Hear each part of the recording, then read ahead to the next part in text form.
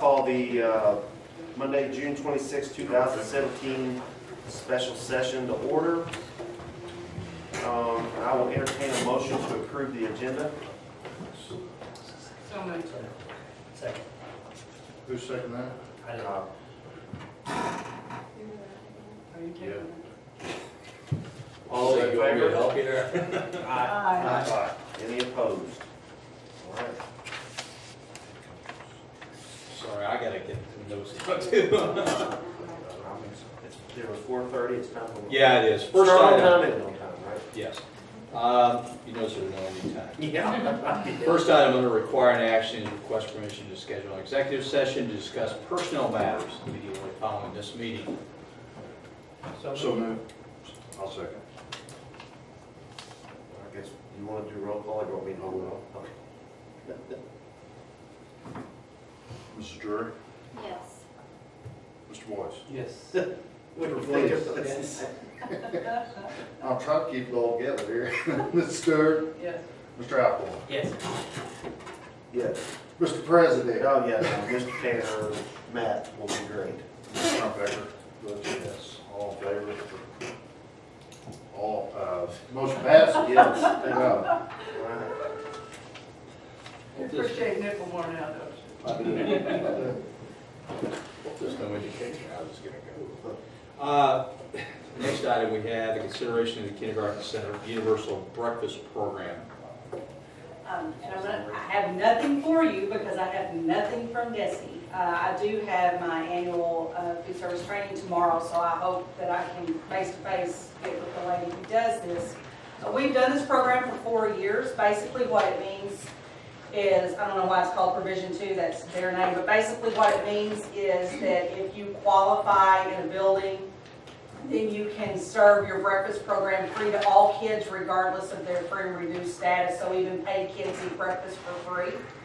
And we've done it for four years. Um, Ms. Hovick and Ms. Carball and the teachers, up, well, Ms. Hodges is here for sure. Now, there's some hassle because we serve it in the classroom, so there's, so don't think it's all just, you know, smiley faces and roses, because it's not, because there's some extra work on the teachers when we do it.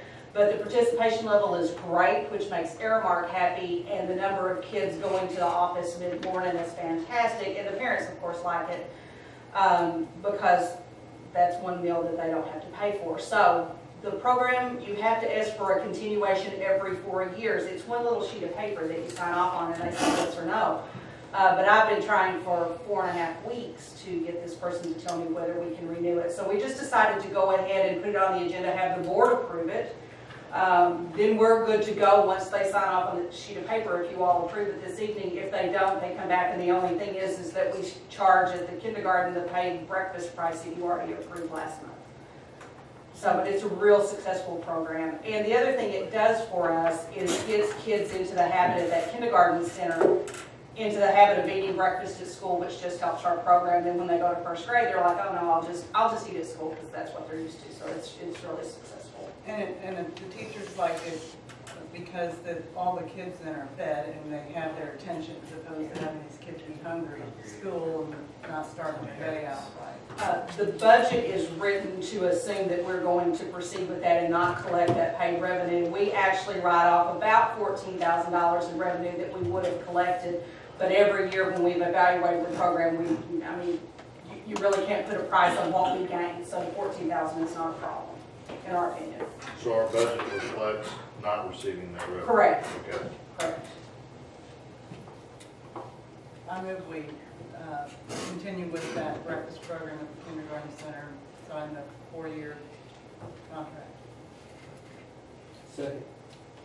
Have a motion and a second. Any discussion? Further discussion on this? Seeing none, all those in favor? Aye. Any opposed? Okay, next we have the consideration of FY eighteen budget. Will it be as fast as that one? No, it's not gonna be as fast as that one. Um, I normally ask you to skip over the summary sheet, which is the, the front page there, um, and then I come back to it, but to keep from just getting worn out as we go through the details, I want to cover this, because like I said, I'm not happy with this summary sheet at all. Because there's way too much information on it. But I really couldn't figure out a better way to present it to you, so just bear with me. So we're gonna cover this, go back, get the details, and then come back and look at this again and see if it kind of soaked in, or if I'm just so far off base, nobody can understand it. Um, There are some updated information, I will try to point that out between the handout that you had on the 13th, these little black folders that you had on the 13th, I will try to point out the changes as I go along, but if you have questions, just stop me and ask. Um, Most of the information on this front page has changed from the 13th. Uh, We are running, in the process of running our final payrolls tomorrow for the current year. We have a a one and a half bi-weeklies, we have to pay a half uh, payroll for retirement. And then we have some stipends for some focus grant money that if we don't spend it, we're gonna lose it. So people have been working on curriculum and different things in those buildings, so we will pay those out this week. So this actual salaries for sixteen seventeen, um, is, I think it's just spot on. So we're gonna end the year right at nineteen-three. Uh, the savings from retirees is still hundred and eighteen thousand. And again, that's people, retirees and resignations, people leaving the district and who we've replaced for them to come back in. Um, I think I said this on June the thirteenth, but I'll say it again. Normally, that number's two hundred and fifty to three hundred thousand dollars. Uh, because you have a lot of people coming off the high end of the salary schedule where they retire and you're bringing in people with very little teaching experience to replace them and you save quite a bit of money. Uh, this year, we had quite a few people resign, but we didn't have a lot of retirees, so we didn't get that true savings. And some of the people that we hired, for the people that left, we were paying a lot higher rate, which means you're getting a lot more experience, so it's a good problem. But anyway, we didn't get our, you know, we lost about a two hundred thousand dollar cushion there. Uh, new position at the end of the school year, uh, an IEP was done that, uh, was decided that they needed an A position at the junior high that is not currently in our list of employees, so that would be a new position for next year. Uh, the focus grant liaison position at Southeast, um, you know, we, that was a really good position for us to have, but we, we, we now know we're supposed to get funding. We'll talk about focus as we get back into it. So we've seen allocations now for next year, but we still don't know if Southeast is still going to be a focus school. So there was really no guarantee that that position could, could, could continue because it was paid with grant money. Uh, and then, and since then, the individual has found another job, and so she resigned because she, the unknown here, and I don't blame her for that. So that is not a position we'll be placed, uh, replacing at this time. Uh, a literacy coach position, a 550 retiree position that was funded by Title II-A, is Chuck is not replacing that. Um, and then through attrition, since the 13th, we've had one uh, a special aid aid position retire, and we've had one resign. So Lynn has talked with those individuals, uh, those principals at those buildings, and hoping not to fill those positions, so we've taken that off now. Now, if something, I mean, that doesn't mean that you won't have a student move in that will have to have an aide or an assistant, so that number could go back up. But these are reflecting true positions that we have. Um, we used a retiree for several years to assist us in our A plus ALS software. And that's where they, some of the kids do credit recovery, and we use it a lot for um, the kids over at the alternative school. And that individual quit working the 550, so we tried it a year without the position, and Mr. Mays did quite a bit. But Brian James uh, at the alternative school has been very hands-on with that. And with just day-to-day stuff, we decided that needed to be something that was added to the co-curricular because we need somebody that can do hands-on and, and fix something while a child is sitting there. He may be in a three-hour meeting and can't do anything, and the kid may only be there for four hours. So we've added that position to the co-curricular and plus that in. And then move to the right on the salary schedule is where people go back to school and move and get their masters or their masters plus 16 masters plus 32. I thought 10 would be a good number, as I've talked to people since the 13th, it may be closer to 15, so that number may be a little lower. Uh, but it's just kind of a moving target until everybody starts turning their stuff in in August.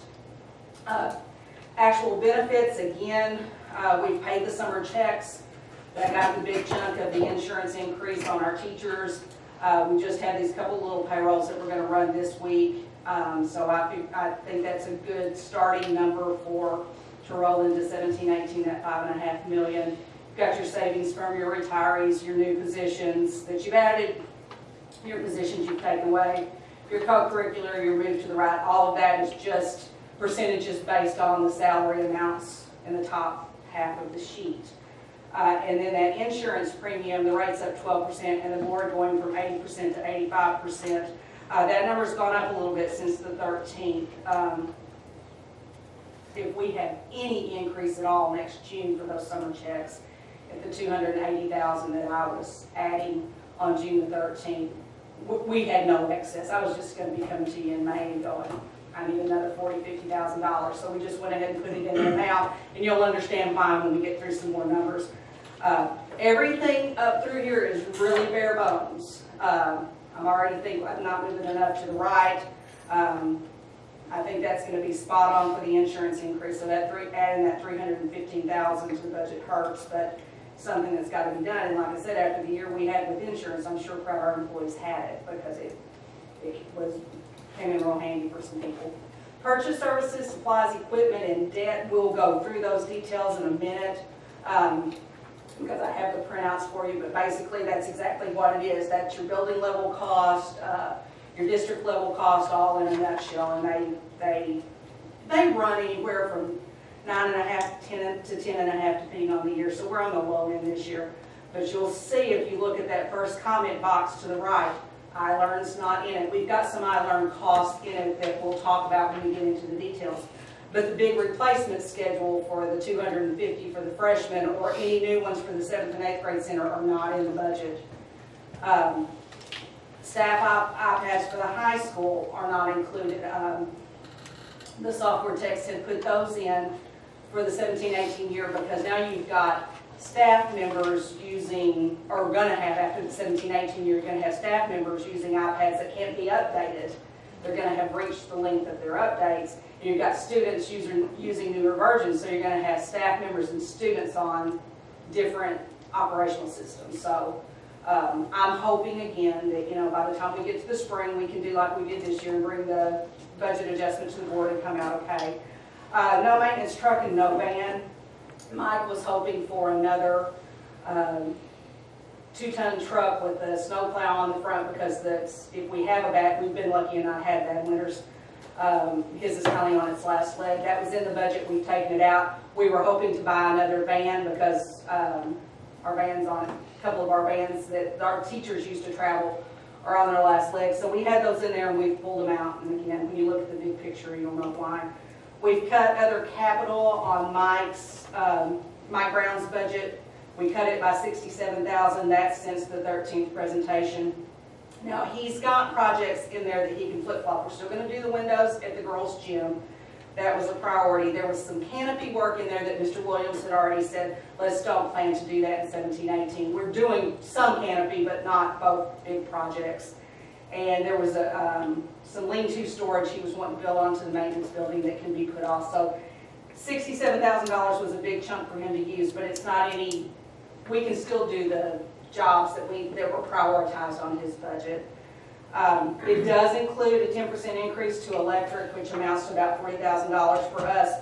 You had already approved the new buses back in February, those would be delivered July the tenth, but that's in the bottom line.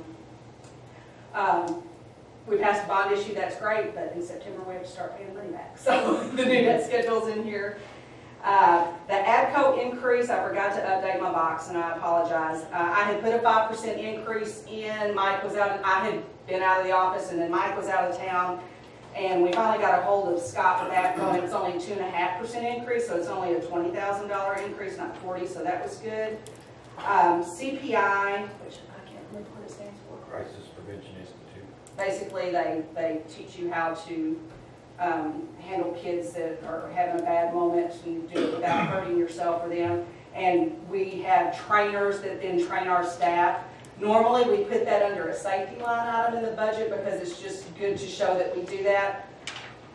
Well, we just, we've got so many cuts this year with professional development, we're just gonna pay for that with one percent money. So when you see CPIs covered with PDC, that's our professional development, one percent money. So we just didn't give Lynn his own line item this year.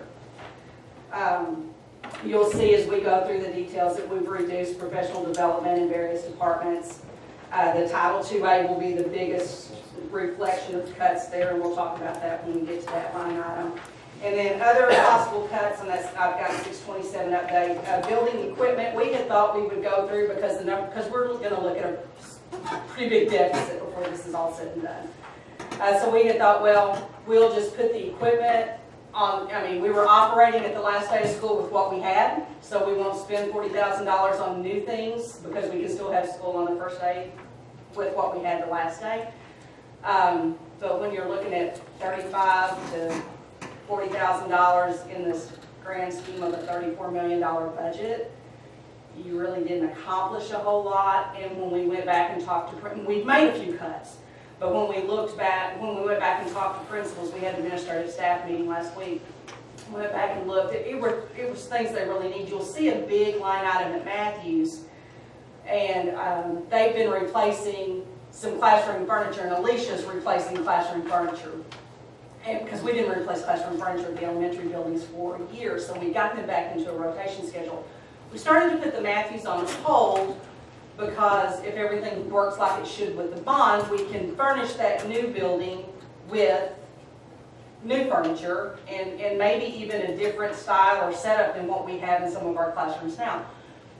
But then we talked and Lee Hunter's gonna need furniture and, you know, Southeast is still gonna need furniture, so we don't feel like we're wasting any money, so we didn't cut that just twenty thousand. Yeah, so we may, even though it's going to Matthews this year when the new building opens, instead of that furniture going out of that building into the new building, it may be dispersed to another school, or it may go with us, and we'll just see how the numbers work out, but we didn't cut that. We did cut food service down, we're buying four cafeteria tables for kindergarten, four cafeteria tables for Matthews, and then we're buying some stainless steel shelving to make the health inspector happy for kindergarten in Southeast, because we still have built-in wood shelves, and she hates them. So we try to do something every year that's on her list. We don't have anything, if we have any equipment break, I'll be in here with a budget adjustment. So, because there's, there's nothing in the bottom line to cover anything with equipment. Um, the revenues have changed, um, and, and you see my note, your total expenditures there, that green line is thirty-four million, five hundred and ninety thousand, oh ninety-five, and that's no bond expenditures. I wanted you to see the big, that's why I don't like the sheet, is I wanted you to see the big picture without the bond, because it just, it makes us look rich and we're not. So, we needed, you know, we needed to distinguish between building fund and operating. Uh, the revenues have been adjusted and we'll go through the details on that. We got some updated information last week on, the- from DESE. And so we, where I gave, you knew it wouldn't last, those of you that have been on the board, you knew my revenues would not stay optimistic, I had to cut them somewhere. Uh, but we got the June, um, DESE finance report, and it says for the basic formula, while the state adequacy target for the 17-18 year calculates at $6,241, which is what I showed you last month, that was the high end where we got $200,000 in money. That state adequacy target will only be achieved if revenue is available to fund at the level appropriated. More information regarding the state adequacy target and funding will be provided throughout the year. And then there's another statement in here that says, this is their standard. Um, Administration, although a level of collection is potentially achievable, administration should use caution uh, in determining uh, to be as optimistic or as conservative as they choose to be. So we're not going to end the year with formula funded.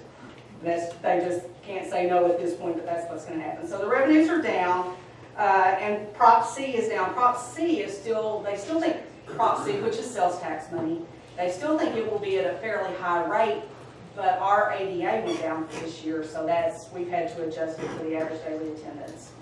Uh, so we'll lose some money there. Uh, so you'll see without a raise in there, just doing business with what we've got built into the budget when we look at the details, we're looking at, um, deficit of nine hundred and twelve thousand. And then you see below that, that if we do a step only for all staff certified and non-certified, the cost is four hundred and three thousand. And then you can see if you do step in one, it costs six hundred and sixteen thousand, step in two, eight twenty-nine, step in three, is a million forty-two. So you'll see over in red to the right what that does to that deficit amount. Um, Then the box in orange, uh, uh, you needed to see what our ending balances were gonna be. And again, this does not have bond information in it. We're gonna end the year at fourteen um, million to fourteen and a half and the box in gray below walks us through that. And we're actually, after today's numbers, and if everything comes in that the guys have invoiced for on their federal programs, which they're telling us they'll pay it on the 29th of this month, so if it actually hits the bank on the 29th of this month, we're actually gonna end at 14.8, 14.9, which is, which means we will have struggled through this year and only deficit's been a half a million dollars. That, that seems too good to be true, so, you know, I may tell you a different thing in July, but we've looked at We've looked at numbers for days, and that's just what we keep coming out at. So, out of that fourteen-five to fourteen-seven that we think we'll end the year with, you've earmarked three million of that to finish out our elementary building. So if you, so if you see that, look, using the fourteen and a half, because it's easier math for me to do, it takes your balance down to eleven point five. And then if we do a step in two percent, it's gonna reduce, because that's gonna heavy deficit spend one point seven million dollars. That's gonna reduce our reserves to about nine point eight to ten-two for FY eighteen.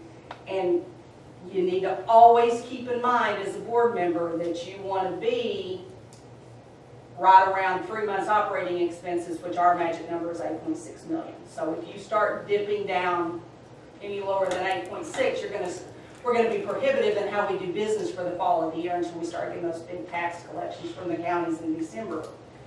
Um, If, if we were ending today, and we are so close to ending that these numbers can't be too far off, you see our beginning balance in the gray box, is where I'm at now. Beginning balance for FY seventeen is fifteen point two million. Our revenues, assuming that our money comes in on the 29th, and this is without bond money in there, that we've collected, will be at thirty-four point one million in revenues. And we will have, after the final payrolls, we will have expended thirty point, thirty-four point five. So our ending balance should be at fourteen point eight. We have in our possession now eight point one million dollars in bond revenue. So that's in the bank, so when you look at that, our balances are twenty-two point nine. So that's why I said, with- with that in there, we look rich. But that money is restricted. What about the interest on that? I just get ready to ask that, that was my next question. Is that restricted to bond or to, to We building? arbitrage that, right? It's, it's restricted to the debt service, it just helps us to, to pay on the, on the debt schedule. But we earn, you earn interest on that? Mhm. And you can pull it out, um, you know, if, if, you know, you can invest it three or four different ways. Now, the last bond, we earned a lot of interest on the front end and then everything tanked and we just wound up keeping it in the bank account and just drawing regular interest on it. But we may actually see some CD rates go up, especially since our schedule is gonna be postponed a little bit. We might throw some out there uh, for six or eight months anyway and draw a little bit extra. But the revenue, when we get to the revenues, you'll see that we've increased the So interest payments by quite a bit. probably get seventy-five basis points? Yeah, which is, which is more than what we're drawing on our checking account, so we'll put it out there if we can. Um, and then in yellow, in addition to what we're, we've asked you to approve above, where it says total seventeen eighteen expenditures in green, that's thirty-four point five million, we need you to approve eight million dollars in bond expenditures on that as well. I didn't put the full eleven because we're not gonna, we're not gonna have eight million, probably in seventeen, eighteen, but I don't know what number to put in there. But if we put eight million in there, we can spend it, and if we're not spending it, then we'll, we'll back it down. So the auditor's happy, and the budget is a better, just overall picture. But that just is, you know, the eight million dollars is there in revenues, when you add the, the, the eight point one that we've collected, it's there, so we'll put the eight million in the expenditure side of things, and it just basically becomes a wash. Um, if you look at the FY eighteen, beginning with bond, with the bond information there, we should, we should start the year with a balance of twenty-two point nine. We're looking at revenues of thirty-three point six, bond expenditures and operating expenditures total is forty-three point four, which means you'll have an FY ending balance of thirteen point two million, and you've still got three million dollars of that restricted for your building. Okay, so basically, So basically, at FY eighteen, if everything goes as planned, we should end that year at ten point two. Then in red there, you'll see, you take your additional three million dollars in bond expenditures out in your 18-19 school year.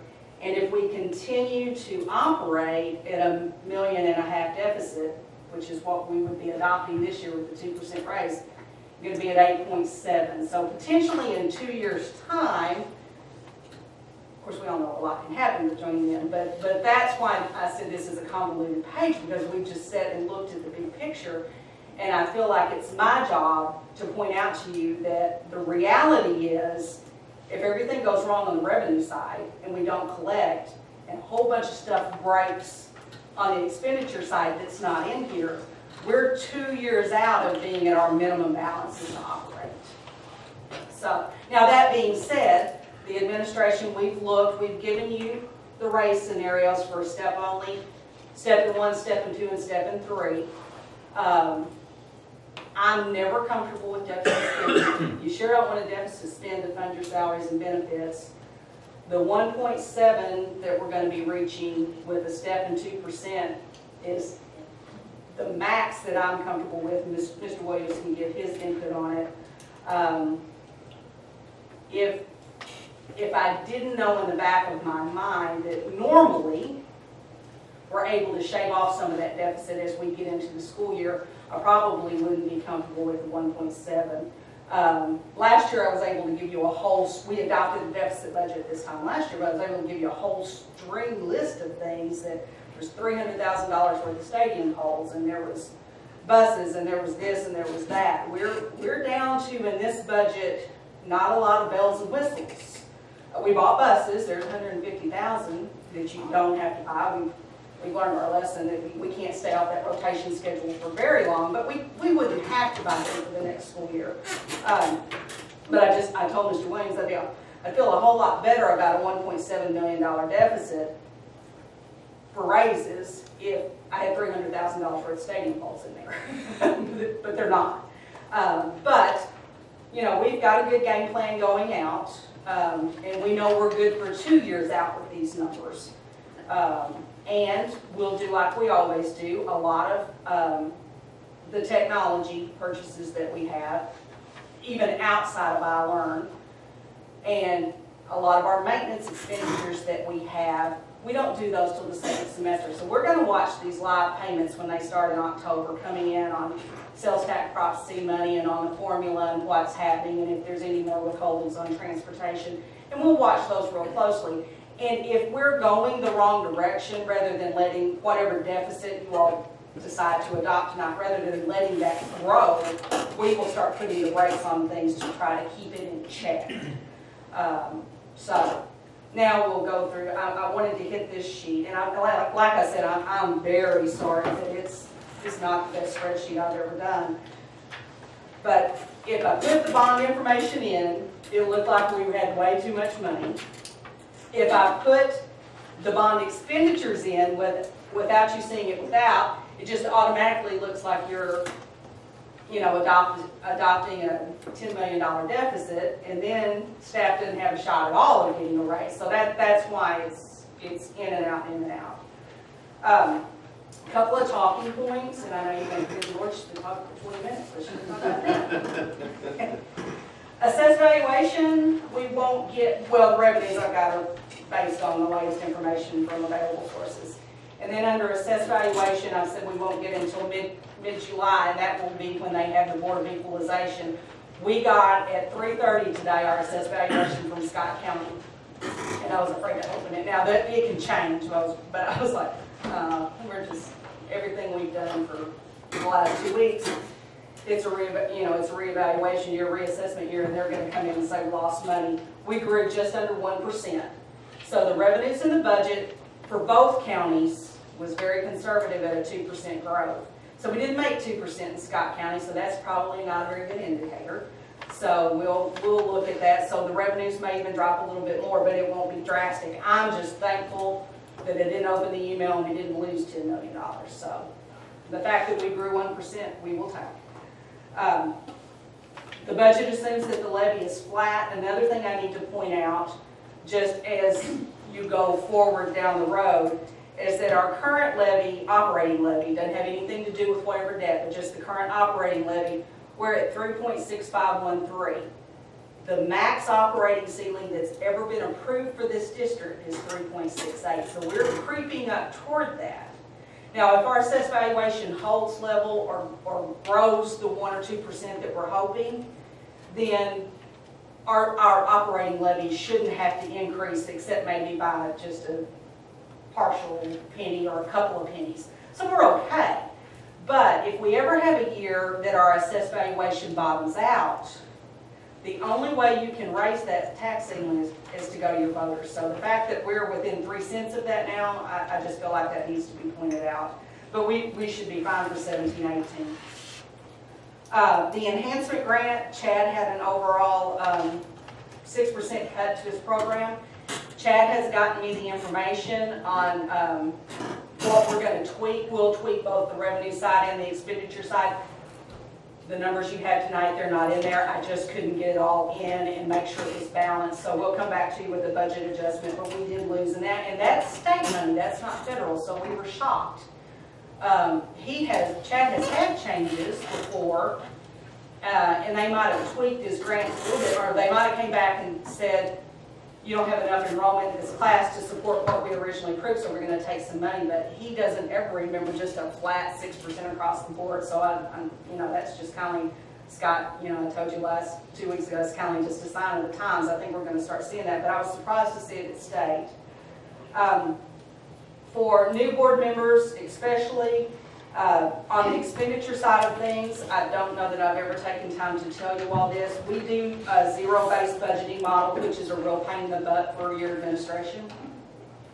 Uh, every year, at the end of the year, every line item in the budget gets wiped to zero, and you pretty much have to beg for what you want. It's basically the bottom line. Everything goes back to zero on the expenditures, and teachers start in November or December.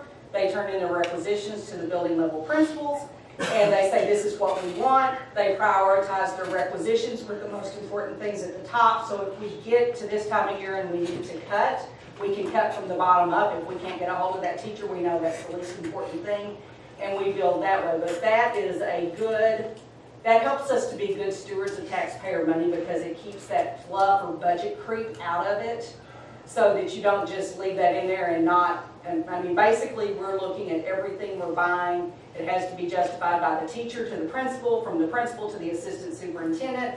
The assistant superintendents turn it in to Tom and I, we sit down and go through it, and we hash back, and it goes back and forth two or three times until we settle where we are. So I think we're, we do our due diligence there. Um, Salary schedules are in here for the two percent and the three percent.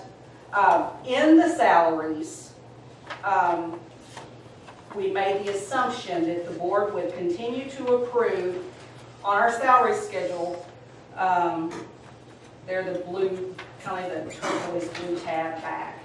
If you look at the certified salary schedule, you'll see that the master's degree, the column three, where people have their MS degree, it freezes at year twenty-five. You see, it's fifty, uh, fifty-five thousand oh eight oh, it's with a step in two percent. And then that amount just stays the same below that. And then at masters plus sixteen and masters plus two, it doesn't freeze until step thirty. Well, in our district, and then the classified staff is behind that, the support staff is behind that, and all of theirs freeze at thirty. So in our district next year, we will continue to have people that are on those three levels of the certified salary schedule, masters, masters plus sixteen, and masters plus thirty-two. And on the classified salary schedule, that basically will be frozen if you all don't approve as part of the budget tonight for us to give them a step as well. Uh, it's ju, we've done that for years, and I will tell you, basically, we've put you in a, between a rock and a hard place, because if you don't approve it as part of the budget, they actually lose money. Because we've added those steps to them for several years. And if you don't approve to continue that, then we actually have to take a step off of theirs because it doesn't continue to hold. But the cost, we have a nominal number of people. Uh, there's four people on the support staff salary schedule and seven on the certified salary schedule that are affected. It's eight thousand dollars to do that. So we're asking that you continue that as well. And then we, we've had numerous conversations. I won't speak for Ms. Holifield, but I don't agree with them. But we've had numerous conversations with um, MSBA and on employment. And one thing that we have never done for the board, and not, I I mean, not intentionally, we've just not done it. If I hire a new secretary in my department, or if Lee Hunter hires a new secretary at their building, we've never brought the Board of Education that name. You had already approved the position as part of the budget, because we had a secretary at Lee Hunter before that one quit, we just put somebody else in. The amount may fluctuate a little bit, but it's still the same column on the salary schedule, because it's the same criteria to hire. Uh, they may come in with more or less experience, so the dollar amount may be different, so we've never done that. So we need to play catch-up. So in, included with the budget tonight, and, and as part of appro- approving the budget, we have given you a list of every support staff individual by name, the building that they are currently assigned to, and what the name of their position is. You've already approved your administration and your certified staff. Those were approved earlier months, April, March, April, March and April. So you've already approved those. We're giving you a list of support staff and co-curricular names and assignments. Those combined with what you approved at earlier meetings are what make up your $19 million in salaries. And then what we will do going forward, we know that Lynn's gonna need to hire a special ed assistant for, um, junior high. So when we go through that process, at the, the next available board meeting, we will give you the name of that individual, the position and the building, so that you have an opportunity to see that that was added. Uh, the way we're going to handle gate workers, summer help, like right now, um, Mr. Trankler is our welding instructor at SCTC. Well, he works for maintenance in the summer. And some, a lot, a lot of times, we will have, some of the coaches will mow for us or something, especially if the guys get behind. So what we'll do monthly, if we have summer help or we hire students to work, like Brian Henson in the summer, we will bring to you those things. It's almost always gonna be after the fact because, and, and according to Scott Summers with MSBA, that's okay, because we have to do business. If, if Lynn's IEP team meets and we need a special aid assistant, and they determine as soon as possible, we go through the hiring process and we don't have a board meeting for three weeks, we're gonna go ahead and hire that individual, do the background check, get, go through the process that's set in policy for us to hire them, and then we'll bring it to you. You always have the opportunity to say, no, I don't think so. Missouri is an at-will state. We go back to the individual and say, the board decided that we weren't going to have this position. Thank you for your time. Here's your final paycheck, and have a great day. Is this new? I mean, is this a new Yeah. policy? This is It's not a new Statute, policy. staffing. Statute. Apparently, we According to disagree on interpretation of statute. Because we know we have to hire professional staff Yes. before they're offered the Yes. job. Right. And, ac- and, and according to their interpretation of statute, we don't have to ask you to hire to bring the person in, we just have to act, basically, uh, he used the word almost as a courtesy for you to see that we've done it. So we'll do the same thing with gate workers, we're giving you the entire support staff tonight. So Michelle Johnson is a perfect example to use at the high school, she's one of the secretaries of the high school building, well, she does anything they ask her to do. So she may work at graduation, she may be in a concession stand, she may work a gate, uh, she may work a volleyball game and a football game. So every month, she's paid an extra amount for that because it's outside of her regular job duty. So every month on the consent agenda, just like we do the substitutes, we'll bring you a list and this is who we paid. Uh, Same way, you will see people that career in, uh, well, not really career in tech, but the adult ed part of career in tech. If they hire Michelle Fayette to come in and teach a class, which she does for us pretty often, you'll see her name come through. And that way, it's just transparent. And I apologize that, you know, I talked with Joyce Bachman. This is not anything that's new on the books.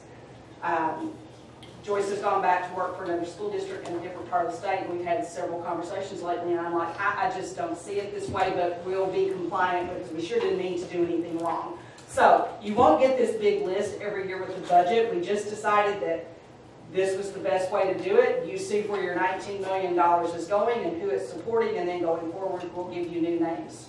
Um, a question on, I know that one of the things we're supposed to do, and I'm assuming that the amounts are in the budget for salaries, is that we're supposed to approve every coaching position by name, who's have, who's gonna be in the position, and the amount they're to receive for doing that work.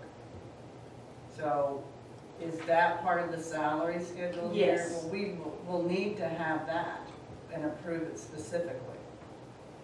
The names of the people and the amount they're receiving for their coaching. And we can bring that to you in July, once whatever, we can give you a list tonight that shows you what their current rate is. But we don't have any idea what their rate will be until we approve a raise tonight to see what it will be. So we can print the co-curricular now, if you want to see it this evening, and then we can update it based on the raise that's approved and bring that to you in July for approval. I, it.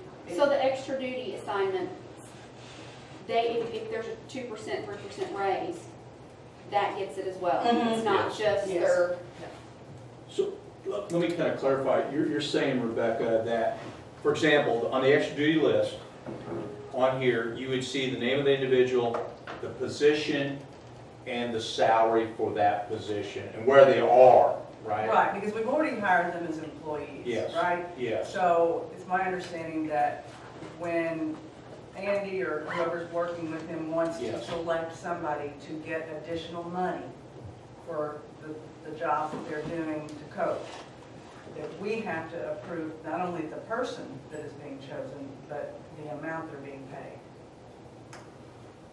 before it happens. Well, can you, check? That's based on a percentage. Excuse me? That's based on a percentage for each, each position, so it- Each year has to. Right. I guess my point is, it's only gonna change if you, if you vote a step and a raise, am I right on that? Well, right. but then it could be years of service too.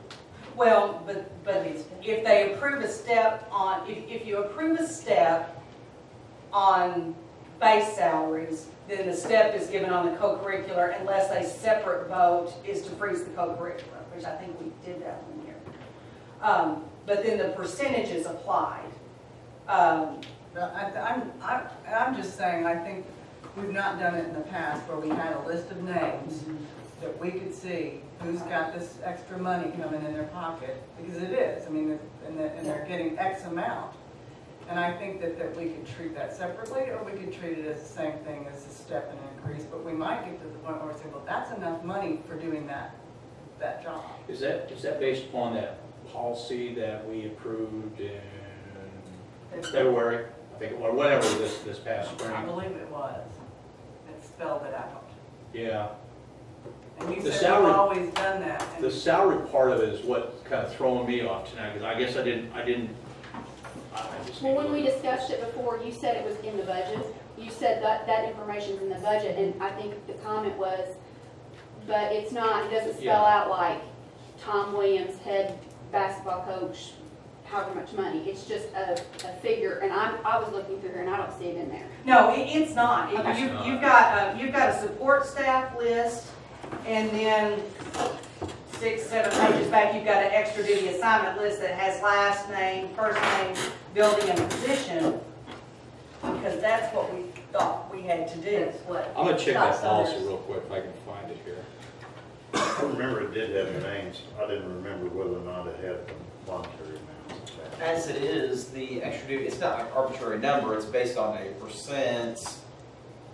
Percent of what your the salary and Is that what that, that's what I'm. Percent of the base. Yes, there is a range, uh, based on your years of experience and the Yeah. sport and the participation level, there's, there's, it's, quite a bit goes into it, but you can have a, you can either make eight, nine, or ten percent of the base, based on your experience and what you have, or eleven, twelve, thirteen, it's, it's in the, we can, we can print that. I can, Yeah, I I think it's, as, as stewards of the money, I Right. think we need to know how many and what we, football coaches we have, how much Right. they're getting paid. Well, and you got the listing and what we, what we've done, in the- and I'm not arguing because I, it's, I think it's probably a good idea. It's just what we give you tonight is not gonna be right dollar wise until we, and we see it. We, it takes, you know, a half a day to update it by the time you give a year of service step and apply the base and do all of that. So the numbers will change. But what we have done in the past is said as part of the co, as part of the salaries you're approving, co-curricular runs about three hundred and twenty thousand dollars. So. That's our number this year. That's what I was gonna ask. So, the, what you have presented to us, let's say we do the step at two percent, and we're, that puts us at the one point seven, uh, deficit. That co-curricular amount is figured into that already? Yes, it Okay. is, it is. So that's getting a You don't- you don't- raise on the base and co-curricular.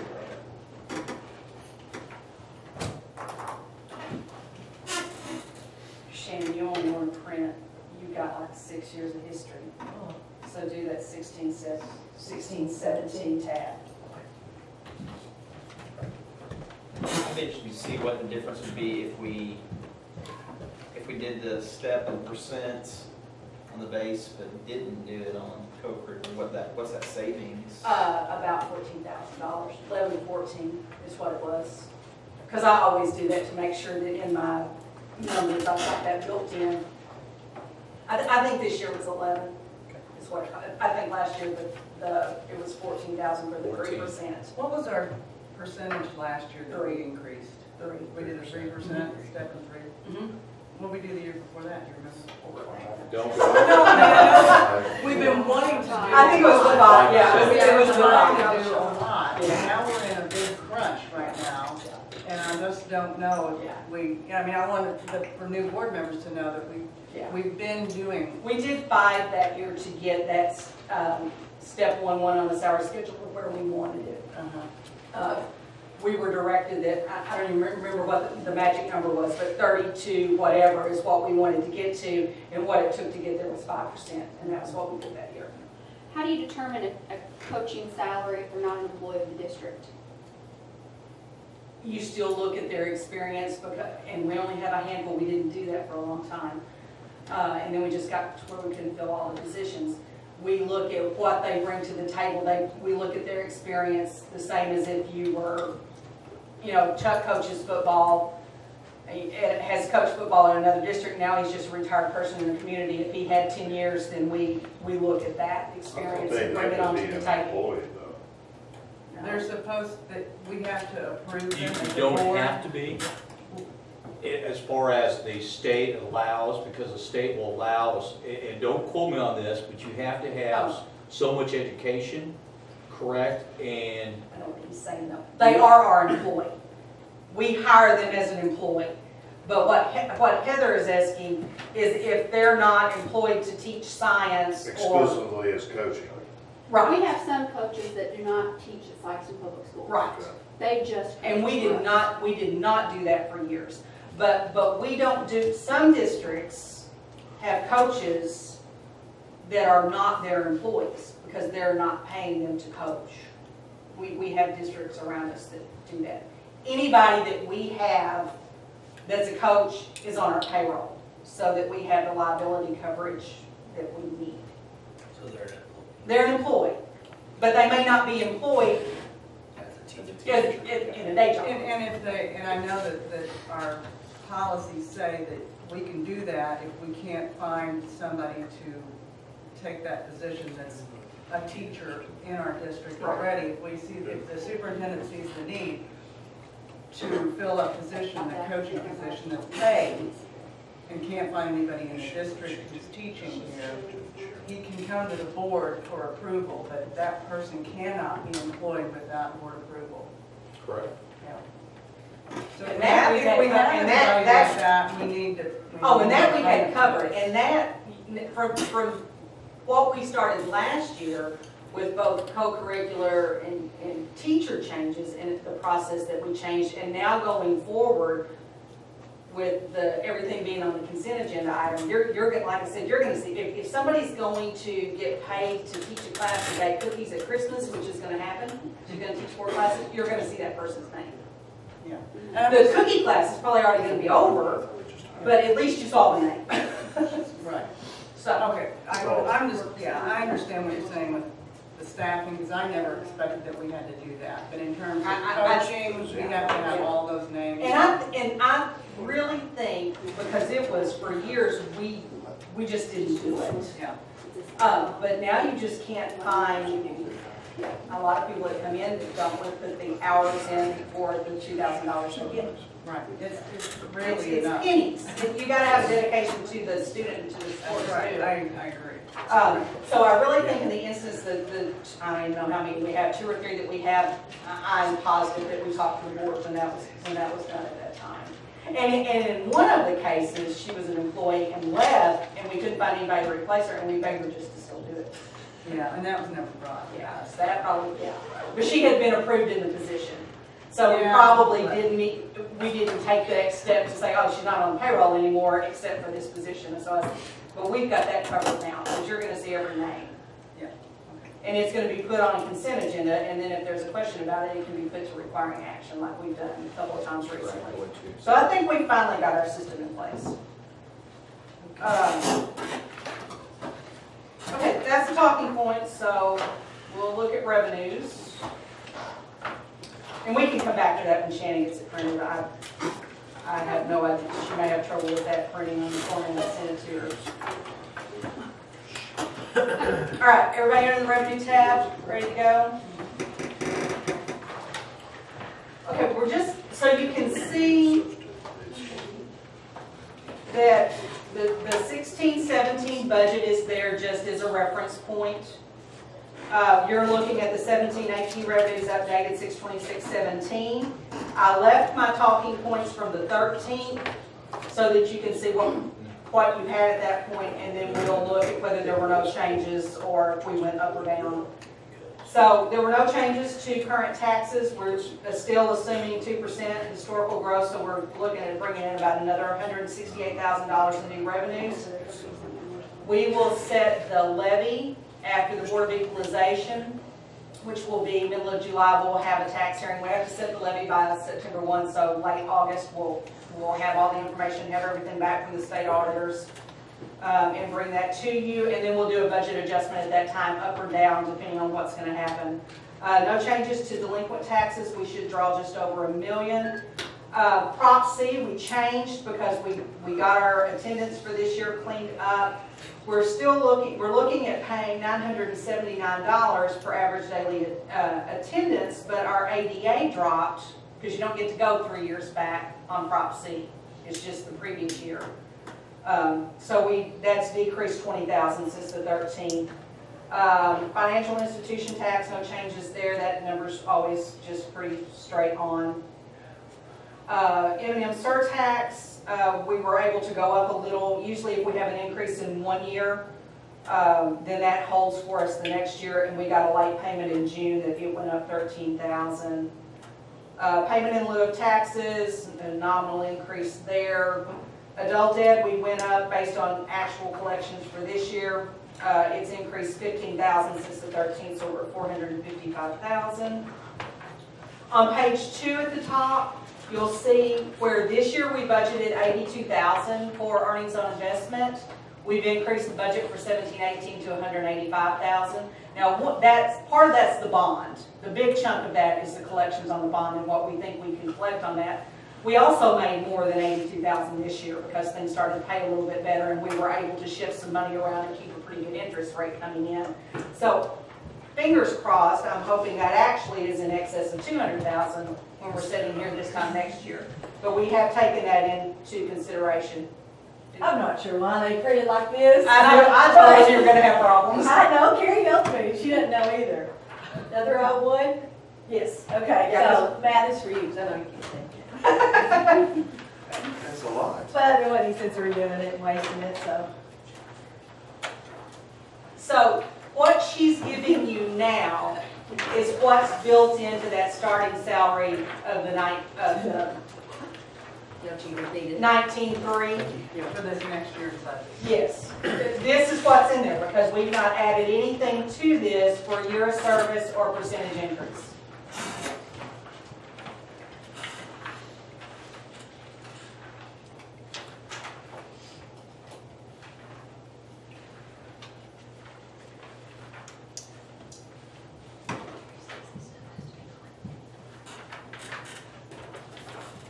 Yeah, I'm gonna click because it's an open session. Yeah.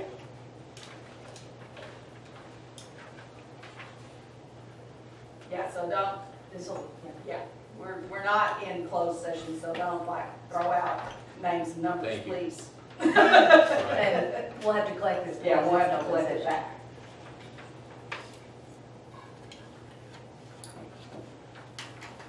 We were okay with just names and positions in the book.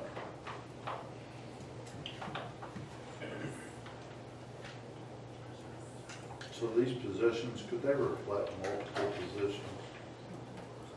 As multiple coaches? That would be that particular individual's uh, salary for that particular time period. It wouldn't be a multiple position. The only thing it would be is the salary percentage range based upon years of experience. Whereas, it- let's say 10, 11, 12, or 11, 12, 13, or whatever. And that is based upon, and help me with this, it's 1 through 5, 6 through 10, 11 through whatever. Isn't that correct, guys? Yes. Help me with that as far as the percentage, it's Right. based on years of. Yeah, experience. yeah. So, so what you do on the co-curricular is when you have an individual that has agreed to coach a, s- a sport for you or fill whatever position on here, you're, and this is, we don't, I don't have a machine that has the explanation, that puts it in just layman's terms. But you look at whether they're tenured, yes or no. You look at their service years sponsoring at SPS because years ago, it was determined that if they had coached in Sikeston, that needed to have more weight than if they had coached Gideon. Okay, so that's built in. Then you see their total years experience. And then the percentage range, again, is based on the length of the season, the number of participants, the, I don't know what all went into the criteria to determine the percentages. There were nineteen hundred. Yeah, a lot of it too was based upon uh, a comparison of schools within the region. Uh, There was an extensive review of what other schools paid their, their coaching staff is what it was too. So you look at then, whatever percentage, whatever percentage range, you're gonna have three percentages assigned to each position. You look at where that individual falls. You pick the salary percentage that's applicable to their experience, both SPS and total. You apply it to the base on the salary schedule, so you see that co-curricular salary amount base. This year, our step one one on the salary schedule is thirty-two thousand six hundred and eighteen dollars. And then they get fifty dollars a year for their step. So then if a, if a year of service stipend is applicable, it's added in the next column for their total contracted amount. And after you go through all that, they get a couple, of three thousand dollars. Some of them are more, but most of them, Pennies on the hour. pennies on the hour, yes.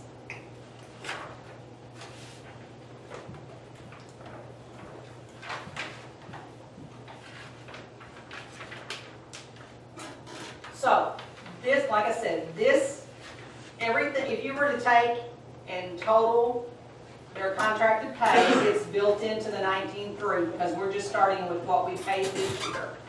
Um,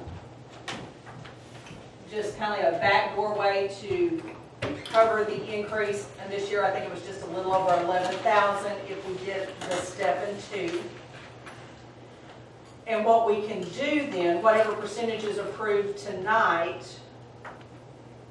for step and whatever percentage is approved tonight, will be applied to the salary schedule. The amounts will be updated, and we can bring this to you in executive session in July so that it can be discussed and we don't violate any rules.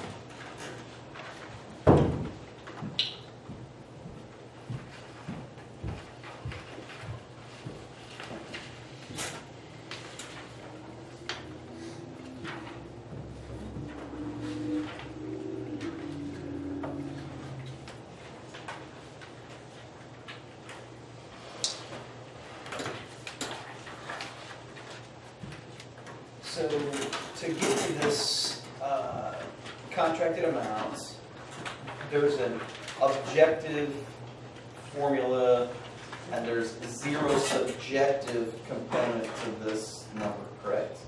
Correct.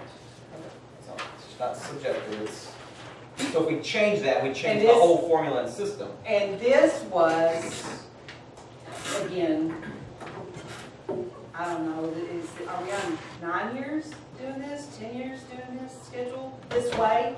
Oh, We try tweaked, like, we tweaked some percentages three or four years ago to be more like 13, competitive. 14 years we've been doing like this. But, but this, doing business this way was brought to, was a committee met in here, like I said, I don't know, I don't have any idea how many meetings we had. And then this method of payment was brought to the Board of Education and put into place. Now, like I said, three or four years ago, we had some positions, when you looked at it as a, when you looked at a cell out of the big picture, we were not competitive in a certain area. And so we came back and asked the board to approve the percentage range. But we've done business this way forever. Does everyone understand that years of service, just to clarify, do you understand that? How long they've sponsored an activity? Yeah, it, it's, it's basically as long as you, you've stayed within that activity. For example, first, uh, first year through five is zero additional pay, but once you get to that sixth through tenth year, then we start getting the fifty dollars added on top of that. Um, When we get to eleven through fifteen, then we have, let's see, we have hundred dollars added on top of that and kind of so on. It maxes out for year 30 at, at $3,000 a year. So it's kind of a nice incentive for our, our coaches and extra duty contract individuals to stay here and remain within that particular activity. We've got like forty thousand dollars in varsity football money.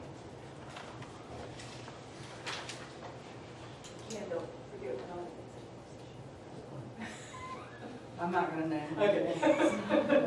I'm just, I'm, and I'm ballpark, I mean, it's Right. just my guesstimate, but.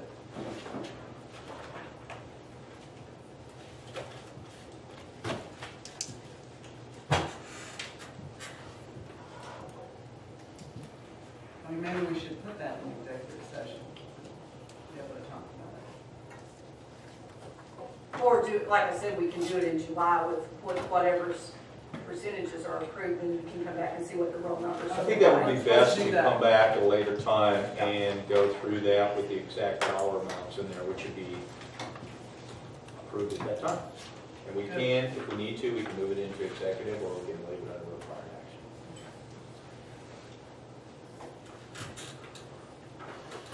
action. So we're not, this is not, we're not approving this tonight as part of the budget. We're gonna take this part It- out. It's with no raise in the nineteen-three. It, it's in the, it's in the, it's in the salary amount that's, that's contained in the budget, the co-curricular is built The in, dollar amount is approved, or will be approved. based on the raise. The old, Yeah, the overall dollar amount is in there, But not the individuals. not the individuals. I thought we already approved all the coaches. Well, the, well, the individuals are being approved as the employee list in the back, just the list we gave you didn't have the dollar amounts. but there was no dollar amount. No, um, didn't we approve them? Didn't we approve those last month? You approved certain ones. We approved. Ones for those. Oh, it's just a couple, okay, that's right. That's It right. wasn't the entire staff. And that's why we were giving you tonight, here's the co-curricular, here's the number of positions, and here's who is, is assigned to them. But what's in the budget book doesn't have dollar amounts. It's built into the budget at the three hundred and something thousand that it is for all those positions. And in that, that's not just athletics, that's your department chairs, that's anything on this is included in that number that's in the budget.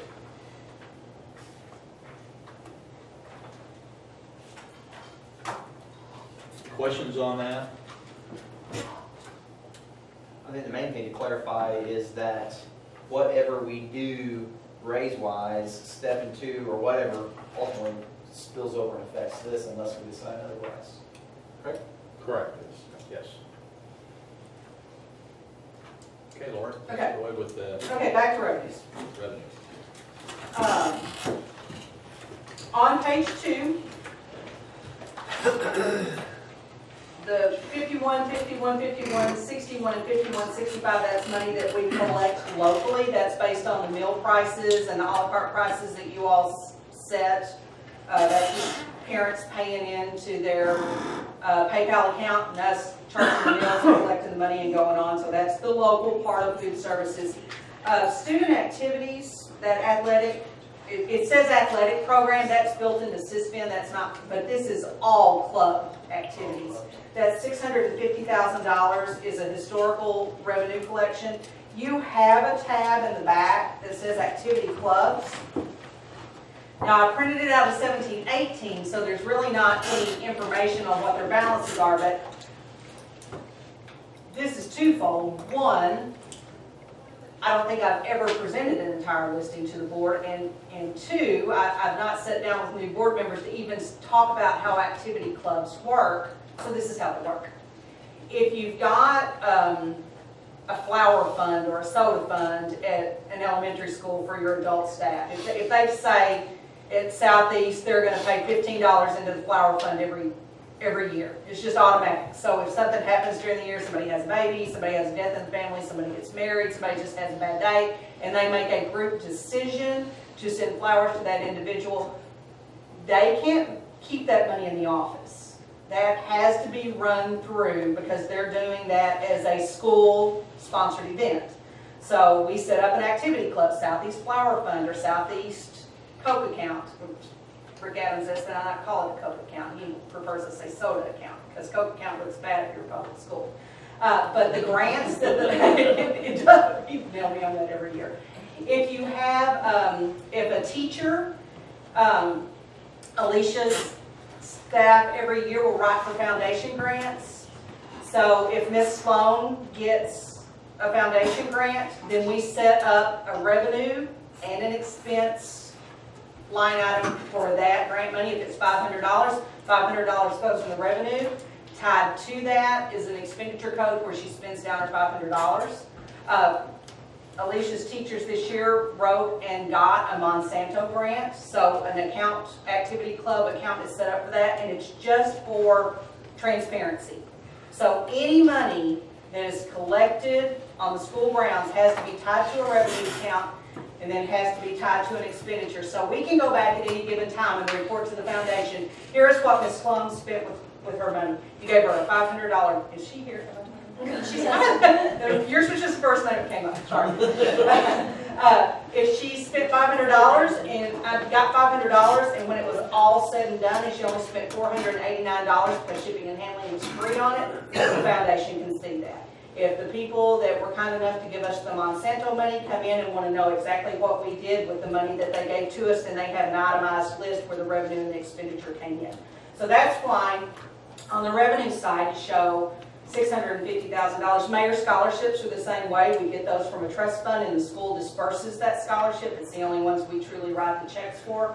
That money comes in, goes to the mayor scholarship revenue line, and then, you know, Johnny Smith and Julie Smith and whoever that gets the money goes out. So that's the six hundred and fifty thousand in revenue. You'll see a five hundred thousand dollar line item on the expenditure because historically, we collect about hundred and fifty thousand more than what we expend on those activity clubs. So it's good business. So that's what that is. Uh, those are big line items if you don't know what they are. Uh, daycare payments, you all know that we have, uh, the daycare on the Career and Tech campus, and that's where the parents pay for the little ones to come in. There's our, um, scoreboard payments for the advertising that we sell at the football field and the field house. That's what we anticipate to collect. Um, So it's gonna go up considerably, or? no, it's, I didn't put the Pepsi payment in the budget this year. So we actually collected ninety-five this year, and we will collect ninety-five going forward. Um, we thought that what we had collected in fifteen, sixteen from Pepsi was the sixteen, seventeen money, and that was not how the agreement read. So I was just low on budget, and we got extra money coming into the books this year. Prior period adjustment went down, that's a moving target. Ninety-nine percent of the time, that's gonna be E-rate money that crosses fiscal years. E-rate actually has kind of changed their process and improved, and Eddie stays on top of it, and he has collected our money in this year, so we don't have a big lump sum of E-rate money crossing fiscal years. We will collect something for some, something that cross fiscal years there, but that's why the drop there. Uh, fines and forfeitures is a historical number, we're down a little bit on a, a three or a five-year average, so I dropped that to eighty. Uh, railroad and, um, state assessed railroad utility tax, that's where, uh, railroads cross through your school district or, um, pipelines cross under your, school district and you collect, uh, taxes based on the usage of that area of your school district. Historically, we have about a one percent growth, so you can see what that does. It takes us from nine sixty-three for this year to nine seventy-two for next year. The basic formula, again, is down. You'll see my note over on the far right for the June 17 DESE memo, caution using the 6241 state adequacy target. And so we updated it to use what they paid us on in June. So they gave us a state adequacy target of 6199 in June, the payment that we just received last week. So that's decreased from your presentation on the 13th of, just right at 142,000. Now, if your board later, or if you want to make this meeting another hour longer than it's already going to be, you can go to your formula tab and you can see where the numbers come from. Again, um, at some point, new board members, we do need to sit down and go through this once. Uh, But basically, if you look, it's the, you know, and then DESE has their disclaimer that here's what you need to use, but it could be wrong. They taught us that at our, uh, new board training. We, we went through the formula. If, oh, well, good. So if you- if you get to this page. If you get to the Senate Bill, um, two eighty-seven twenty calculation estimate, and you look under the 17-18 school year, you will see where I got my, I, my numbers for formula payment, the classroom trust, uh, Prop C. All of that is, is calculated through the formula based, and it's only as good as the numbers that you enter. Um, but we have entered the best numbers that we have at this time. So back to page two on the revenues, transportation, we know we're gonna have a cut. This is as good of information as I can get from anybody out of DESE. Uh, we didn't collect the two hundred and twenty-four thousand that we had budgeted for this year because the cuts were already in place. Uh, so we probably will be about flat for revenue next year. Um, early childhood special ed is its own unique thing. Uh, it crosses over onto the top of page three. Uh, We actually collect based on prior year actual expenditures, so we collected a lot more in sixteen seventeen because we had a lot more kids. Our kids were down this year, so we anticipate collecting in seventeen eighteen less money. But we already know that for seventeen eighteen, we have more kids, so we'll go back up in eighteen nineteen. It's the only revenue we have that pays based on prior year actual expenditures. Classroom trust is part of the formula. You can see with the new calculation, uh, it decreased by three thousand. Vocational at-risk money is the easiest number in the budget, it's thirty-five thousand dollars every year, and it's the only one I guarantee is right. Uh, ECSE PAT program, our Parents as Teacher program, that's based on historical collections. We are able to offset, uh, we spend about seventy-five, seventy-eight thousand dollars on the program, we only collect forty, forty-two, so, you know, thirty-something thousand local dollars are spent on that program. Lynn is able to use part of his Title I budget to cover that, but as we've already told you, we've had some Title I cuts, so going forward next year, we probably can't offset the cost of that program. We've already cut that program several years ago to bare knuckles. We only have one teacher, Maryland does a great job, but we ever spread it out as thin as it can be, and it's, it's uh, pretty important to our district, so we've left that in there, even though we know we probably are truly gonna spend a good thirty, thirty-five thousand on local dollars to fund it. Uh, Vocational technical aid, that's what we collect from the state based on um, number of teachers we have in the program, the programs that we're offering. Uh, That's a five-year um, average that's listed there, and we updated it 23,000 based on what came in in our June payment. We get a state payment on food service that helps offset the cost of those programs. It runs anywhere from 10 to 14,000 um, according to the numbers for next year. Um, That's state level, we're not to federal dollars on that, so they think we'll get about uh, 14,000. Again, here's the enhancement grant, what Chad originally submitted, and it was originally approved was hundred and fifty thousand, seven hundred and twenty-five dollars in revenue. Uh, we wa, we had various expenditures over on the expenditure side, some are paid seventy-five percent state funded, some are paid fifty percent state funded. Um, and he's had a six percent cut to that, so we'll bring you a budget adjustment in July to get the numbers straight. But just know that where we cut the revenue side of things, we're gonna cut the expenditure side of things accordingly. Um, Lynn is able to file paperwork. Our, our special ed costs continue to go up. We, we have, you know, we're required by law to service the kids that come in with special needs.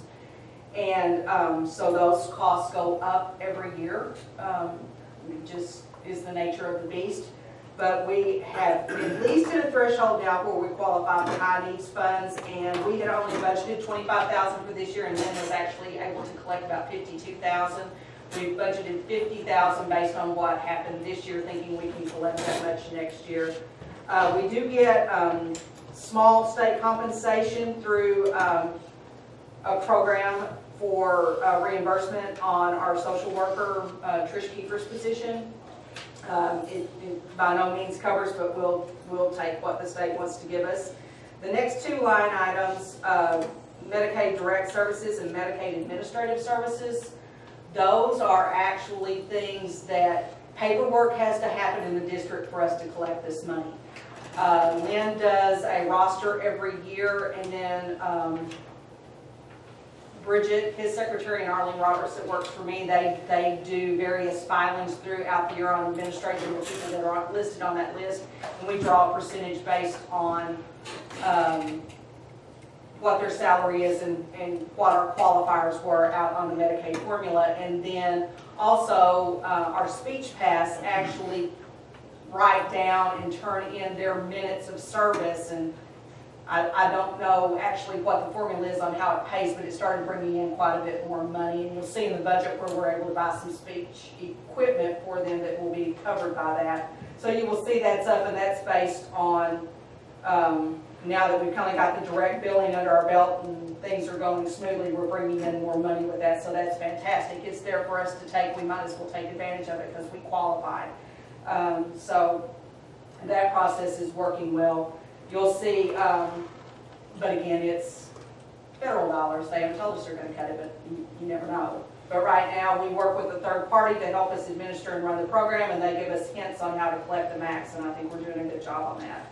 Uh, next is Perkins. This would have been the line item I would have thought Chad would have seen a cut on if he was going to see a cut, because it is, um, federal dollars.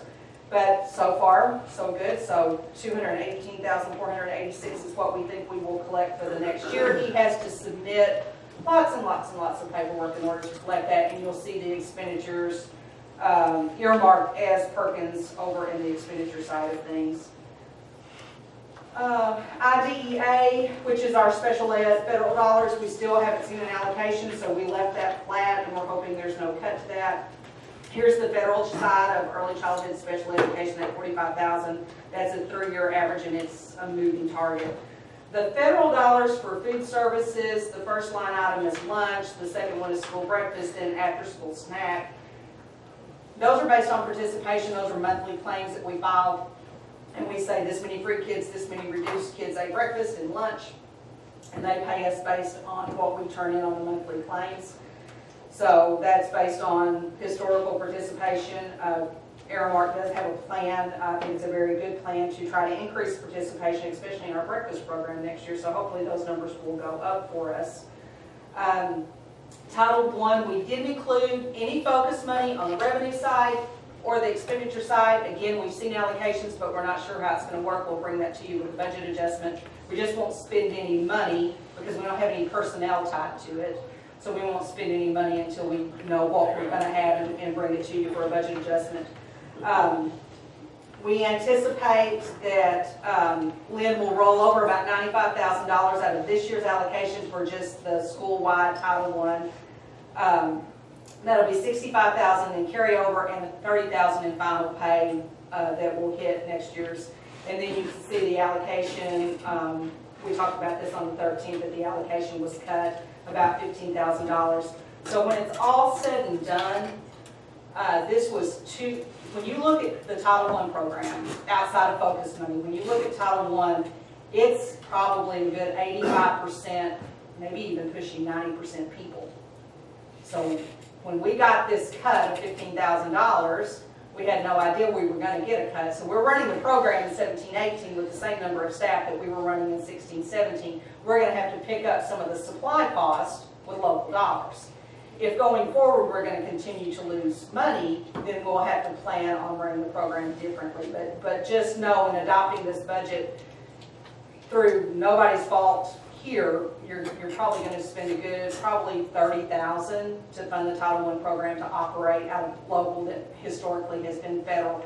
We will make sure that covers things other than personnel, so if the allocation were to go back up the next year, we're not in trouble for supplanting, we can keep paying for people with federal dollars that we were, so we'll watch that very closely. Uh, six B is gonna be four A, and we lost pretty much all of it um, fifty-five thousand, one hundred and eighty-eight dollars. They're gonna give us a whole twelve thousand eight. That's, again, all people. It's one full-time teacher, salaries and benefits at the alternative school, and about thirteen percent of another teacher over there. We'd already contracted those individuals for next school year with absolutely no contingency if we get grant money, because we've been told nothing. And we can't run that program without those individuals, so that's local dollars that you're going to be spending that we, we can't plug a hole any other way. Um, sale of buses, we bought two, so I'm assuming we're gonna sell two, so we get about five thousand dollars. Tuition from other districts, you'll see that both on the collection side and the revenue side. Uh, I mean, the revenue side and the expenditure side, we usually pay out than we collect. But basically, that is the revenue side of things are students that are, the parents, their domain is here, but they're being serviced in another school district or another special type of institution, then we have to pay that institution for those services because the parents live there and they should be collecting money. And it works just the way, just the opposite for revenue. We usually collect about forty thousand, we usually pay out about sixty thousand. And a lot of that, again, is tied to, um, some of the youth programs that are in another part of the state, that their parents are here, but they've been assigned by whatever group, uh, a lot of it's foster care, that they've been assigned to go there, so the money just goes in and out, so that's what that is. Um, consortium fees and um, the 5820, that's money that we collect. Um, That's historical collection. We, we didn't see as much come in this year, but I think we're going to have some crossover the fiscal year, so I left it flat. And if you go back to the very front page revenues, when you add all of this up, that's where the 33,678.03 on your summary sheet comes from. So expenditures, again, knowing that we are zero-based, I will point out anything that is either a new line item, a big expenditure that we would not have had in the past, or a big cut that we've not had in the past. We're not gonna go through all nine hundred and some lines of these expenditures, because nobody wants to do that. But I do have some talking points that I've put out on here. Software license, I'm, I'm trying to work with the principals. We do a lot of and if you ask me what they are, I can't tell you, so you'll have to depend on the educators in the building. But we, we do things like Brain Pop and Gizmo, and uh, we have a plagiarism um, program that we use at the secondary schools. A lot of times what we run into is if they are budgeted just like if, um, if the ELA class at the high school uses the plagiarism program and they budget for that under ELA supplies, then it's hard for the principal to remember next year that they do that. So we've started creating these software codes, which is where your expenditures start. And the principals are, are starting to want to use them. So where you see that second line item under software license, for the budget was fifty-two hundred in sixteen seventeen, but it jumped to ten-nine. Lee Hunter's not doubling the number of licenses that they're buying. They just simply moved it from supply line items up to software because Kim was new in the building, and I said, you want to start budgeting this way. You want to learn this, put all your software there. You always go to your software code, you can see what's bought. When you do next year's budget, you can see what you bought the previous year, and you can ask teachers if they need it or not. So that's, you'll see some fluctuation there. Um, the Senate Bill 40 playground grant, we've not gotten notification that we'll get money for that FY '18. If we do, then we'll, we'll spend it if they give it to us.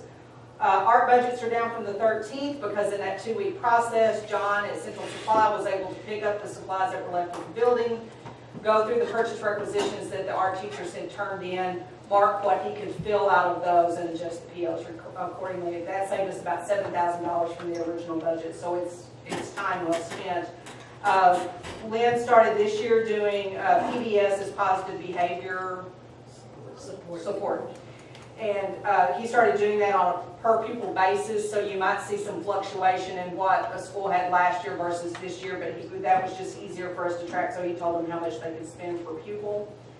Um, and then I've got to know, budget fluctuations are due to zero-based model unless specific, details are provided, but just know that we look at this a million times. If there's a big increase or a big decrease, we're checking with the principal. If there's a decrease, to make sure they didn't forget something. If there's a big increase, we're going back and for the fifth time making them justify why we're spending that money. Uh, textbooks, others, at the bottom of page one, there's a, it looks like we went from 94,766 to 130,000. That's because Chuck and I have not gotten in the same room together long enough to break down by building where the textbooks are going. 130,000 is all we're spending on new textbook series this year. That's just a placeholder, so the whole grant, I mean, so the whole textbook amount is there, and that's down from 256,000 in 16, 17. Uh, we're buying um, health, industrial tech, and Spanish, so it really makes no sense that it's on an elementary code, but that was just the first textbook code that it came along to make sure we got it in there to hold. And we will break that out accordingly. And actually, we may come in a little bit less than that, but that's just a good holder for now. Um, on page two, middle of the page, it looks like seventh and eighth grade student competition didn't budget. We set up a new 1400 code, you'll see it when we get further back in the budget. Uh, that's just an easier, he had money in two places, we combined it all in one. Um, you will see some fluctuation, especially in your vocal music, band, choir, and in your sports. It will look like there are some big increases because we wanted to actually monitor the cost of programs, especially when you're starting to deficit spend in large numbers and you have all of this information coming from state and feds that there are going to be cuts and cuts and cuts, you start looking forward and evaluating actual programs, actual sports, uh, so that you can see what their true costs are. We have, uh, for several years now, if in, say, in band and choir, not choir, band and just um, orchestra, they, the principal may have put $4,000 out under their upkeep code for instrument repair. That wasn't tied to music in any way. So if you get down to a point, or if you have a sunshine law requested, what are you spending on band, choir, and music, then you have to go through and find those. So this year we told the principals we're going to go back and move that upkeep. If it's upkeep for a band piece of band equipment, it's going to be on that band supply item, so that cost is there. Same thing with football. They're going to have to pay to recondition helmets. It's going to be a football cost, not a general upkeep cost. It's just a cleaner way of doing the books. On the textbook deal, do you guys, what do you do with the old textbooks? Is there any sort of market for those? Sometimes we surplus them. Yeah, while we do surplus, Yeah, them, we, we're gonna get rid we of them. surplus, you'll, you'll at some point vote on a list of what we're getting rid of. And we, there are several people that, there are four or five, not several, there are four or five people that are in that business. Um, we have a company out of St. Louis that puts our inventory over in the warehouse up, and then once, in- every once in a while, we get a three dollar check, or a fifteen dollar check, or a two hundred dollar check, just depends on who's looking for what.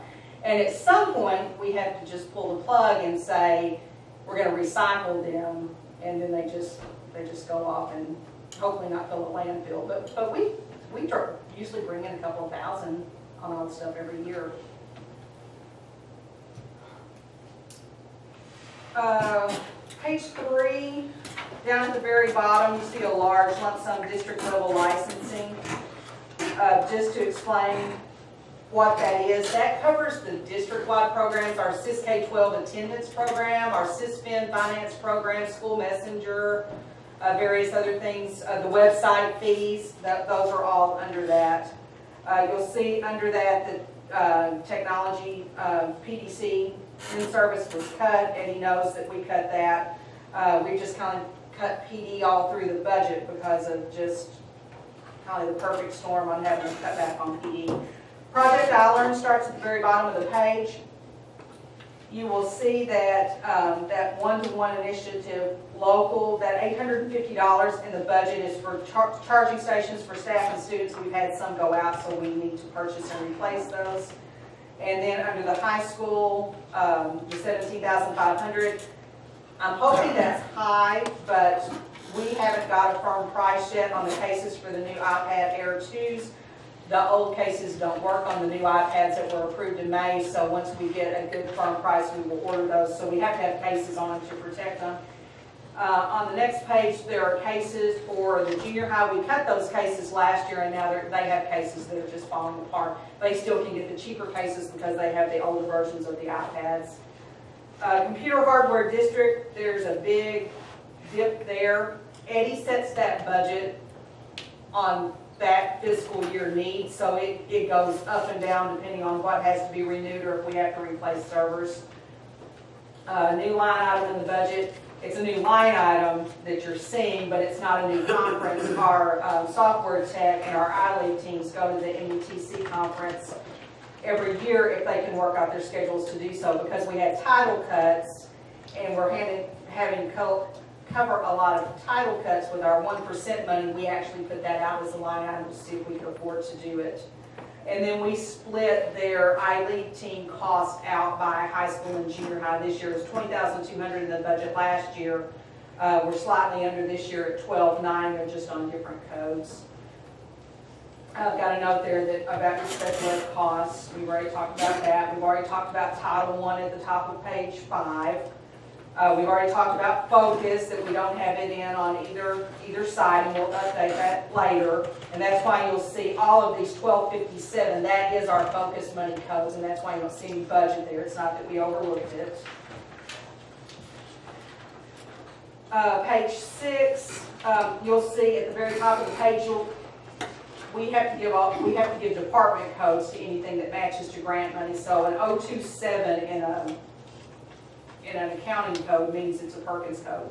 So we see that sixty-nine thousand dollars on line one. That's cost associated with sending schools that's covered by the Perkins grant. We do adjustments at the end of the year where we actually move costs that we charge to local money up to that. And the Perkins grant, um, allows us to cover that. Perkins mandates that Chad put in his budget every penny, so we have to show that as a line item.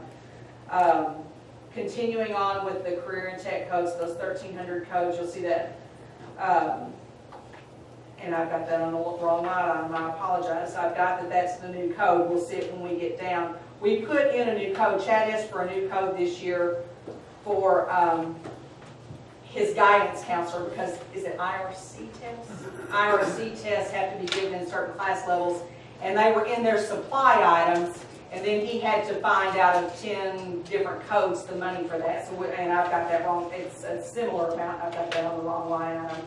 But we moved that out so that they have that, so that he can see where that money is and see what is expended and not expended. He didn't have any 50-50 grant money, he usually gets word of that from the state as the year goes through. And again, if we get that money, he'll do his paperwork, we'll send in, if they send us the money, we'll do a budget adjustment, and it will just be used to offset things right now you're paying for with local money. Uh, on the back, on page seven, I wanted to point out, uh, there's the fifteen thousand, the auto body, um, class and auto mechanics if necessary, they work on a salvage title vehicle, and that's what we give away for perfect attendance. Um, we usually get that anywhere from thirteen to fifteen thousand is what it costs. You'll see at the very bottom of page seven, the expenditure master account for the activity clubs that we talked about. Um, on the next page, I got the upkeep, um, field fee for soccer onto football, so that's changed from the thirteenth to the, to this, to tonight.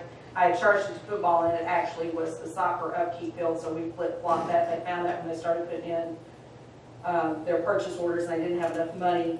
You'll see baseball has an increase, but that's there on the rotation schedule for new uniforms for FY eighteen. Soccer's on the rotation schedule for new uniforms. Um, You'll see an old softball code and a new softball code. That's just, it was a computer glitch and we couldn't get POs to go in, so we had to set up a new code. And then the junior high student competition travel is now, you'll see new code for FY eighteen, previously eleven forty-one code, and that will help Frank track that much easier. Uh, under the sixteen sixty, uh, adult ed codes, we don't have, we probably will get adult post-secondary Perkins, but we just don't know at this point. We'll bring you a budget adjustment if we do. And again, that will cover costs of the program that you're currently paying for locally. Uh, middle of page nine, you'll see the tuition of other districts, payments to other schools, agencies servicing our kids. We talked about that. Same thing, the next line item down, except it's your tuition handicap for your kids with special needs that are receiving services from other schools or agencies. Uh, the twenty thousand dollars, uh, for truancy court, that's our portion that we agree to every year with the county to have our truancy court program that's held in this room on Wednesday mornings throughout the school year. And then the next, the next line item is our truant officer, um, uses his own vehicle, and we reimburse him mileage based on the federal rate approved. Um, and he turns that in every week and is reimbursed, and it runs us just under two thousand a year Who to is do the that. truant officer? Uh, currently it's Ron Greenlee. Uh, on the guidance codes there, you'll see a lot of flip-flopping each year, and the counselors rotate on who goes to the conference every year, and then the budget reflects who's going. And at the very bottom of page nine, you'll see a big decrease in guidance testing. And that's because of the Terra Nova test, uh, it's not given, and the expensive part of that was the scoring part of it. So that's saving us about twenty thousand dollars a year. They're working with something, think the only area it's probably given us a problem with is some of the gifted, and they figured out what to use in place of that. So we saved that money this year, and uh, when I talked with Chuck, we could do that going forward. They had a, a fix in place, so that twenty thousand dollars was saved. Um, that section, the twenty-one thirty-one section at the top of page ten, that's not your LPN program, that's your actual school nurse cost there. It's, it's, they have very few expenditures. Library software at the bottom of the page is another, covers all district. It covers the online world book discovery streaming and the actual program they use to keep their inventory and check their books in and out. That covers all of the libraries in the district. Uh, there's a decrease on the library for senior high that was alarming to me, but the costs are spread out somewhere. She's doing something different with online stuff, and she just didn't need as, as much physical books there, so we're good there. Uh, then we get into, uh, Board of Education, our legal services, our school election, our, uh, professional services. We didn't put any money in seventeen eighteen for professional services because the ten thousand that was in there this year was for the architect. That can be paid as a bond expense next year, so that'd be part of the eight million that we were asking for. And then, um, your first line item that we've run into for property and liability coverage is that Board of Education liability insurance. And I've put, um, there's a, actually a music tab in here, and that's music insurance, not music where you're singing a song. And you can see that we have liability insurance, treasurer bond, uh, maintenance property insurance, and our fleet insurance. And included in what's in the budget is the base cost for coverage of the district plus a fifteen million dollar umbrella, which we've purchased now for many years on the advice of our attorney. And, uh, then also, that costs us about twenty-five, that, the fifteen million costs us about twenty-five thousand a year, so it's money well spent. Then we spend three to four thousand on cyber coverage, which protects us if we're hacked and different things, so again, money well spent. So all of that is in here, and you'll see those on various line items based on what the Missouri Accounting Manual says we have to have, we have to break it down, but you've got the summary so you can see it all in place. Uh, Dues and memberships, you're gonna, gonna see a lot of this, they're up because we were covering some dues and memberships under two A or two one or other places and we can't do it there, so now we've gotta spend it on local dollars. Uh, on the next, on page eleven, you see a huge drop in Title Two A District Professional Development. This year, we had a budget of ninety-four seven. The most we're gonna be able to spend on PD next year under two A funded is sixty-five thousand. Uh, non-public will be cut as well, um, but we still have to give them their piece of the pie. So that's for for teachers from St. Francis under the title program, if they want to go do PD, then it runs through our program. Um, Superintendent supplies are up, and that's because, again, two A was cut.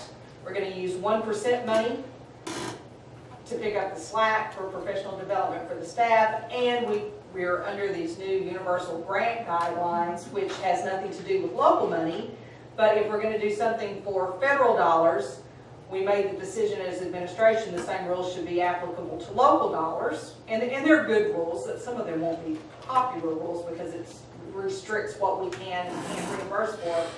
Um, but we're not gonna be able to pay for back to school, our back to school lunch and different things that we historically have paid for with one percent money. We're not gonna do that going forward because we have these new grant guidelines that we're applying locally as well going forward. So that's the increase there.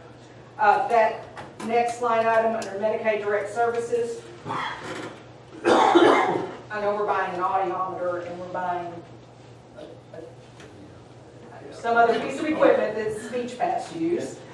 And that's, the reason I pointed that out is one, it's, it's, we didn't have any money in that code last year, but that is a direct result of our speech paths doing the work and doing those direct billing that we're able to buy that new equipment for them. So that's, it's pretty nice that we're able to, for their hard work, get them something that they can utilize. Central Supply Stocks, that's just the master code, you just approved, um, the pens and pencils and construction paper and copy paper and all of that, that's what that comes out of. We just use a control account, we have to break it down by school. We're just gonna tighten the belt this next year. I mean, we just, we tightened anywhere we can, so we'll just, we'll order what we have to have and we might not order any, you know, laminate paper, we've got three rolls, we'll just try to make it and not order a fifth just to get it in there. Uh, so we just cut there, and if we run too close, I'll come back to you for a budget adjustment. But that, that's based, that's a good three-year average on what we spend. Uh, maintenance, on the top of page twelve, it looks like it's a big increase. I just had a budget error in sixteen, seventeen, and we pay for my Brown's mileage reimbursement there on his personal vehicle, and then his staff training and his training updates, and I, he had to spend one percent money because I didn't budget for it under maintenance this year. We tried to cut there because we were cutting PD in other areas, but he has new maintenance guys that have to do OSHA training and state training, so this was not the year to cut the maintenance PD, so we put the full amount in there, so we didn't have to rob Peter to pay Paul. And you see another big line item for property insurance.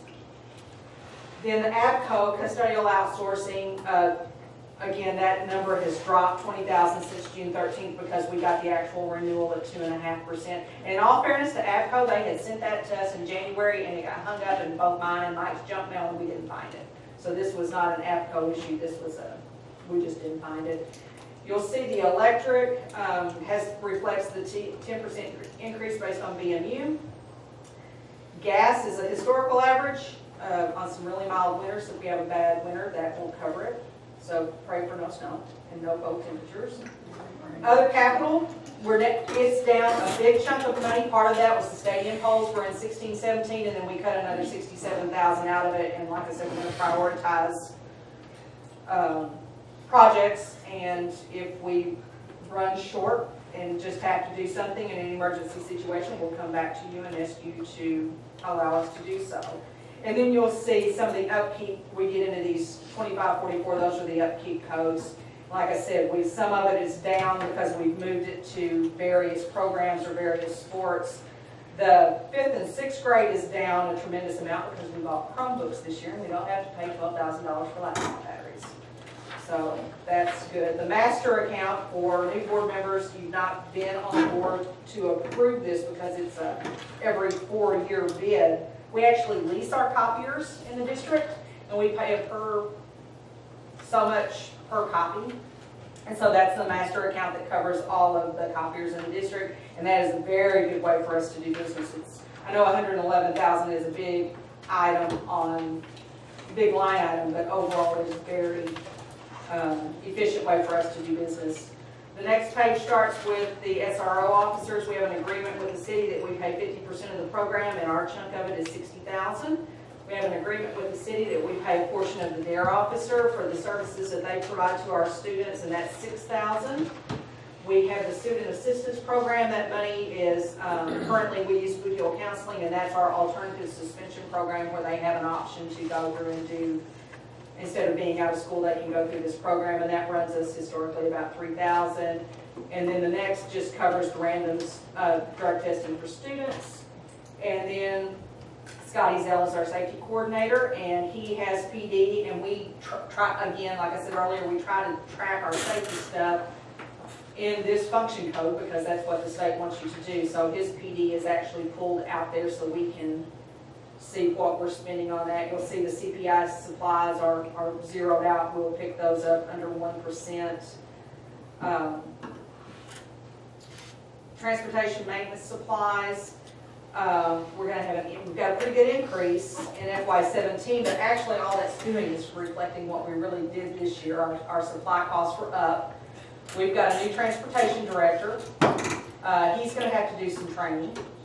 We have some other people that we wanna cross-train in some areas because, um, we just feel like that needs to be done. He has a little bit different way he wants to do the program. We need to buy a couple of cameras. So those costs are up there, so that's why you see the increase. And then the new transportation director um, came from our maintenance department where he had uniforms supplied to him. And this is just something that never dawned on me. We've never paid for our mechanics that work on our buses to have uniforms, but we pay for the maintenance guys. We have two mechanics, we put a line item in to pay, that's an annual cost for both of their uniforms so that they're wearing safety approved type materials and not ruining clothes of their own. So just never thought to do it. So he requested that. We have a fuel contract that runs through December of 2017. Um, So we're pretty confident that we won't have a big increase in, in gasoline for the first half of the year. And if we, we put that out to bid in December, if we don't get us to the fuel cost, we, we will come back for a budget adjustment at that time. See the buses that you approved for last February, like I said, they'll be delivered July the tenth. Uh, food service equipment, it's a very, um, equipment maintenance, that's just what maintenance, where maintenance buys parts to do the, the products that we have. Um, upkeep on equipment. We pay per meal cost based on actual meals served, Aramark, so that's, if they serve more meals, that number will go up, but if we pay more for them serving more meals, we collect more revenue on that backside, so it all equals out. Um, so right now, the, the food service program is self-sufficient again for seventeen, eighteen. Very low amount on equipment, that makes me nervous, but again, trying to, we don't have any plans to buy equipment. If we have an emergency, we'll come to you to buy something. This gets us the bare minimum of what we need to operate. Uh, early childhood snacks, uh, we have to put that, that's a Title I program, um, for the little three and four-year-olds where we give them a snack as part of their day because they're not always there for meals. Uh, that has to be pulled out in this line item according to the accounting manual. And then you'll see, uh, supplies volunteer meals, seventy-five hundred dollars. That's our grandmother's program, where our um, grandmothers come in, we give them breakfast and lunch if they choose to eat. That's our in-kind contribution to that program. And then we also have on any given day, if one of our police officers or, or if they're on fire rotation, if they want to come in, Alicia will have this quite a bit with the firehouse just down Abel's. Uh, we encourage the policemen and firemen to come in and eat with our students uh, so that they have the role model and, and learn that respect. And so we just give them a meal if they want to come down, and that costs us about seventy-five hundred dollars. The majority of that is grandmothers, because they're in every day. Our other part of that in-kind contribution of that is that we pick them up and take them home. So when you do, when you approve your transportation numbers and you see some of the ineligible route miles, those, part of those ineligible route miles are us busing grandmas to and from their house. So those are our two in-kind contributions, and you can't put a dollar amount on the program, in my opinion. So I think we get off very cheap for that. Um, The bond issue, again, in, the goal of this section of the budget book was to give you a number on page one at the top that transferred over to the summary page. So everything we've talked about in this section of the book totals nine million, five hundred eighty-five thousand, seven hundred and you see that on your summary page. So here, where we've still got the one million dollars, I've got, will include eight million, see summary page for explanation, because we're gonna ask as part of tonight's budget, you approve eight million, but we didn't wanna, again, trying to keep the bond expenditure separate from just the cost of doing regular business, we didn't want to inflate that number by eight million.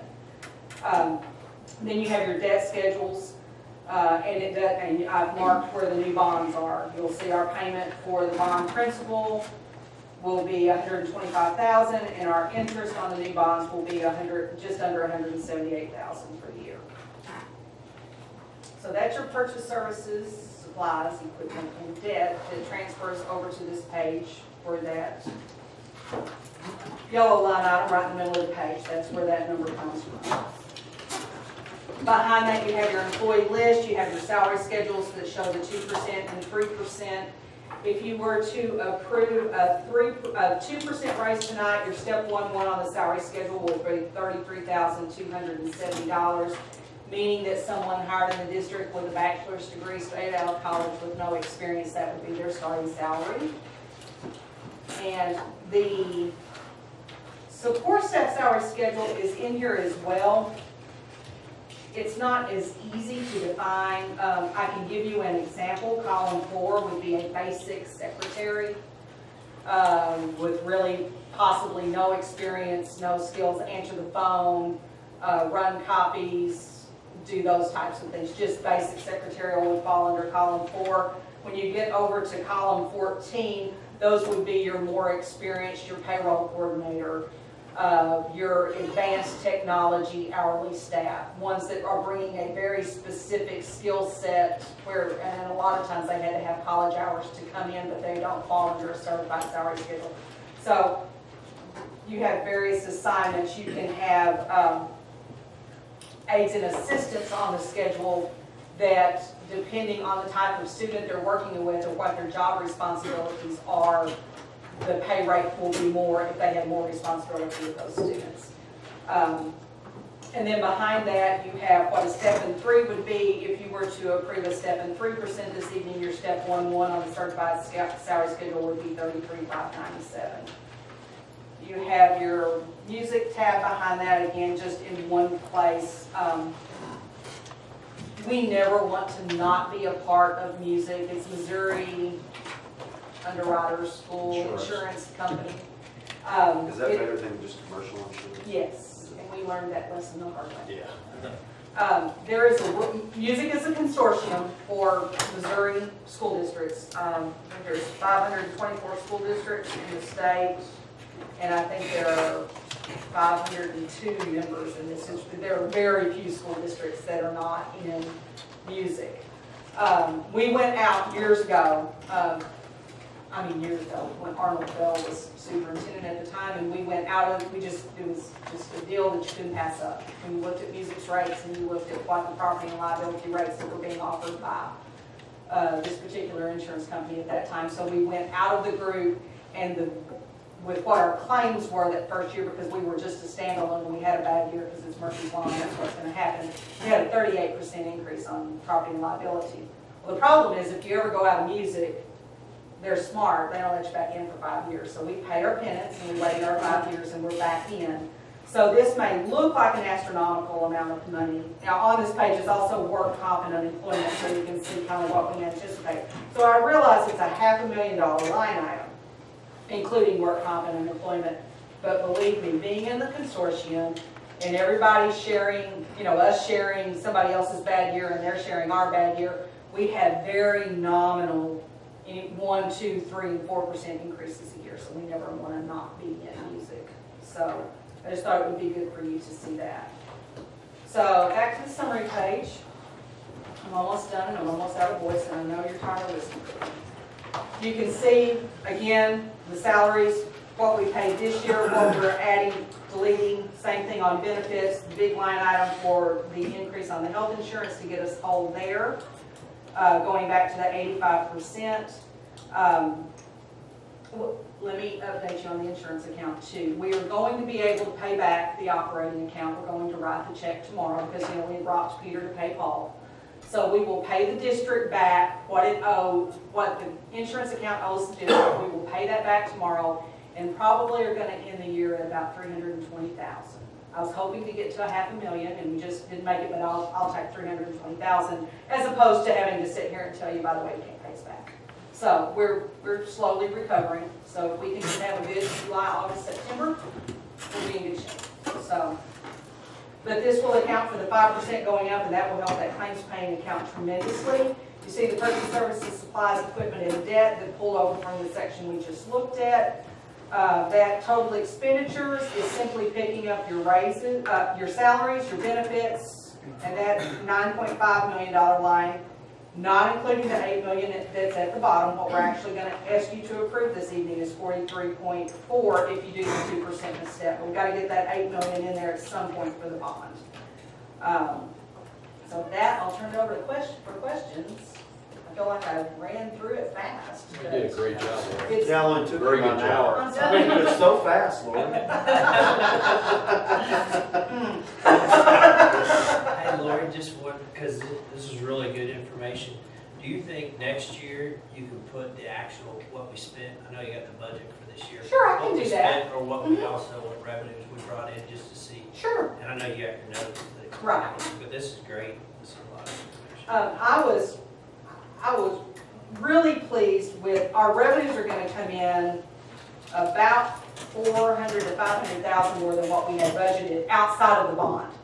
Uh, a lot of that has to do with the guys hustled, busted their butts, and stayed late and got everything invoiced, all the federal dollars, except just maybe a hundred thousand, it's not gonna cross fiscal years. And we've, and we've had years where three or four hundred thousand crossed into next year. Uh, but we also, our, um, local tax dollars on our levy, we, we had a high collection rate, so we came in high there. Prop C paid more, hundred and five thousand more than what we anticipated. I'm hoping that probably happens again this year, um, for seventeen, eighteen. So we were very fortunate to have gained some on the revenue side that was totally unexpected, even with the transportation cut. And then we had about five hundred thousand that we're not gonna expend out of expenditures, because I just can't say enough about the administration and how they watch their money. I mean, if you put five, if you, after they jump through all the hoops and bells and whistles and, and basically begged for a thousand dollars on a line item, if they only need four hundred of it, that's all they spend. They don't spend it because it's there, so they really are a great staff to work with, so. Every year we come in, I mean, it's, we thought it was a really tight budget, and the fact that we didn't expend a half, not gonna expend a half a million, I'm just thrilled. So that, instead of a million dollar deficit for this year, we're gonna only have just over five hundred, six hundred thousand dollar deficit, which you never want a deficit spend, but that's great, especially when you consider the stadium poles for three hundred thousand of that, that we didn't anticipate.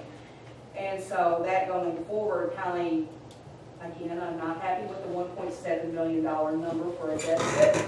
But if we do a step in two percent, I think that is feasible. Mr. Williams can give his input. He, he, the three percent is there for you to consider. Anything beyond three percent, guys, would be detrimental and not good fiscal management. Well, I think based upon what Lori has reviewed, and Lori, every year you do a wonderful job with this, putting this all together, but looking at our revenues and expenditures and looking at where we are right now, and where we're gonna go next year, I think my recommendation, administrator's recommendation is do a step plus plus two percent for all staff salary and benefits, is my recommendation. Let me, let me ask, what may be the pink elephant in the room. What, what's it gonna take us to, take for us to get to a uh, surplus budget? I mean, I mean, is it, I mean, it, Our federal allocations are gonna have to go up. okay, rather than down.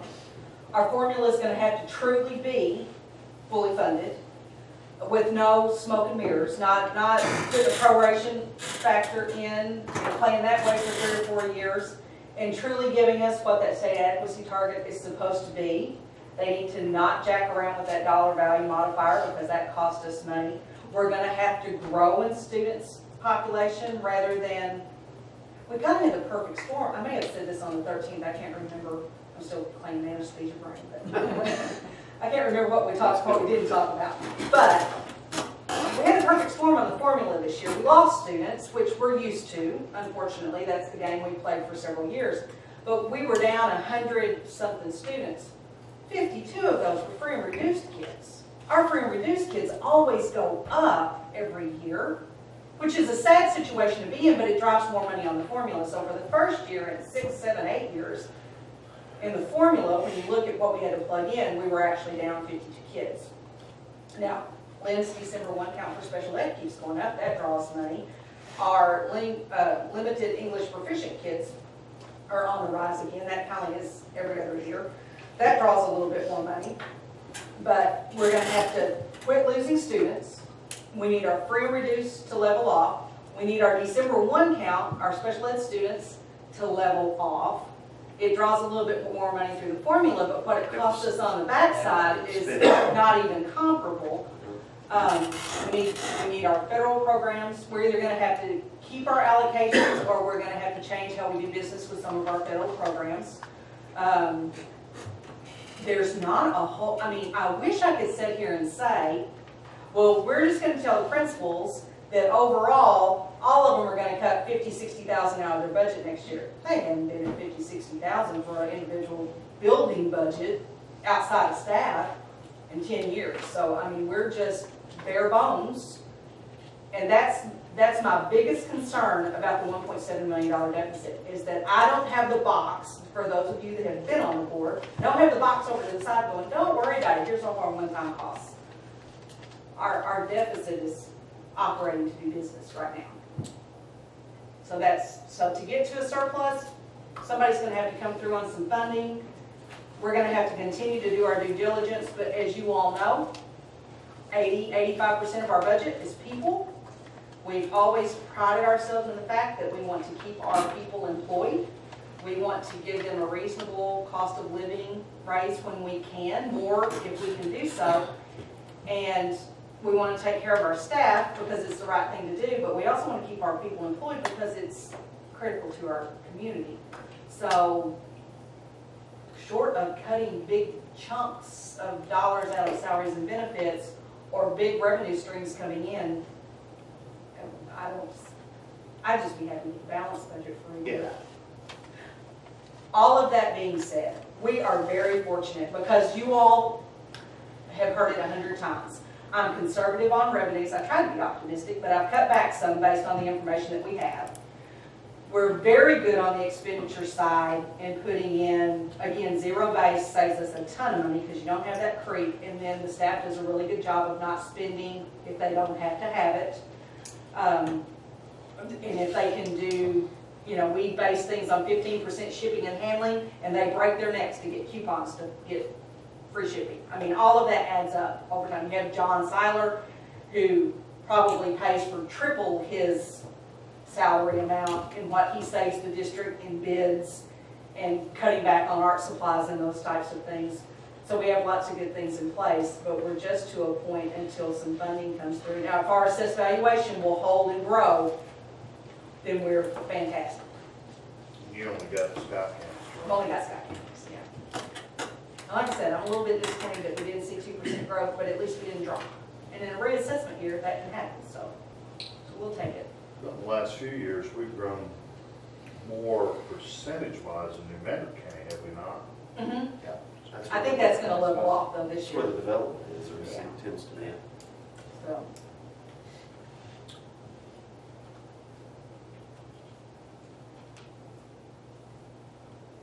Any other questions? So, to muddy the waters, but I need, I need some guidance. So, in this nineteen-three that we're presenting, is this co-curricular? So, if you make a motion to accept what's presented, and, and, and we need the minutes to reflect, including eight million in bond expenditures, so that we can go forward, and like I said, we're not gonna spend anywhere close to that, but that would just put it in there and we can start tracking it. Um, so in this nineteen-three in salaries, it includes the co-curricular as it stands now. So if you don't want to fund that and rehash that in July, outside of just the raise, then I think the motion is gonna have to be with or without co-curricular, because I'm not gonna know how to proceed. And if you don't approve If you do it without co-curricular, you will have to hold those contracts. If you approve it as it is, the contracts will go out with, we will do the contracts with the percentage increase and what the amount goes up, and then we'll hold those until the board votes on those on July.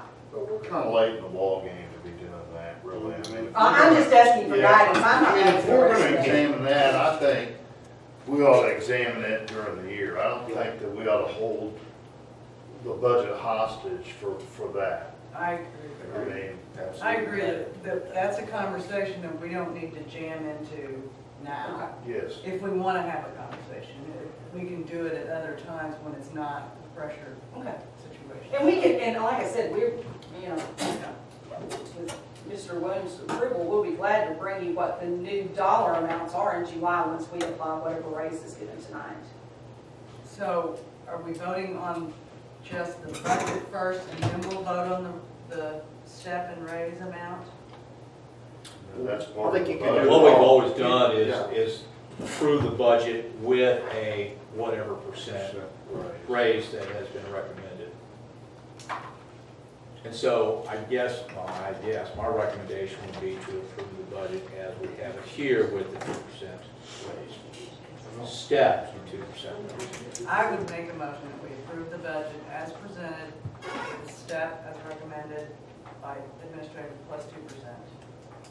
Um, and acknowledging eight million dollars that's going to be, you know, a part of the budget, but I'll, I'll second that motion, but I'd like to get in the future more to that net zero balance.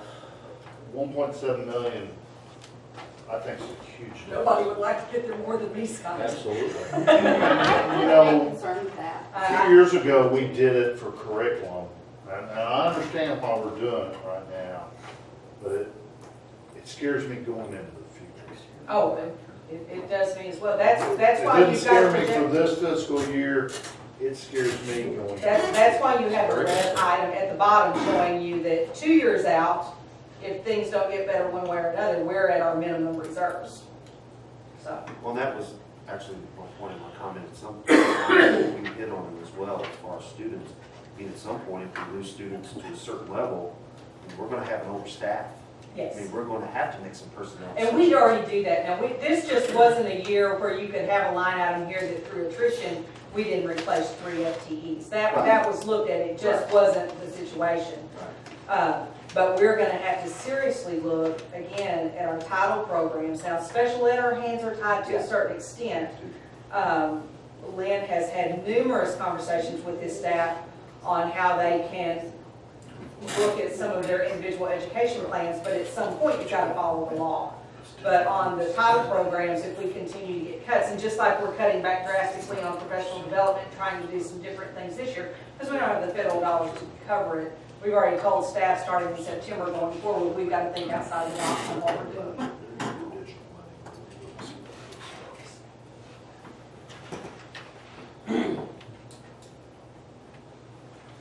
We have a motion and a second. Guess we'll wait for any- any further discussions, comments? Seeing none, all those in favor? uh, Any opposed? I'm gonna collect the co-curricular, these are yours. We will add a superintendent's letter and some roofing schedules and some various other parts of the budget in September. Um, this will also be scanned and put on B-Docs so that you can get it electronically, because I doubt if you really want to carry it around. Looks like, looks like plans and something from a, We're gonna get. A little angle. Absolutely. you like that? Yeah,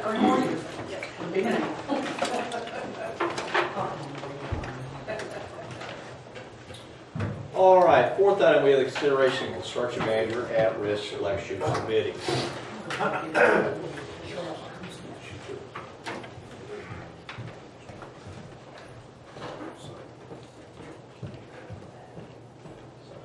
Um, Before we go into this, let, let me just point out something that uh, I heard, I I mentioned to, to Matt about it. I, this dealing with construction, uh, dealing with building. Uh, Scott Matthews gave me a call here a couple hours ago, three hours ago now, and gave me some good news. Um, The piece of property that was to the south of our donated land, um, which was donated to Three Rivers, they had three years in which to develop it.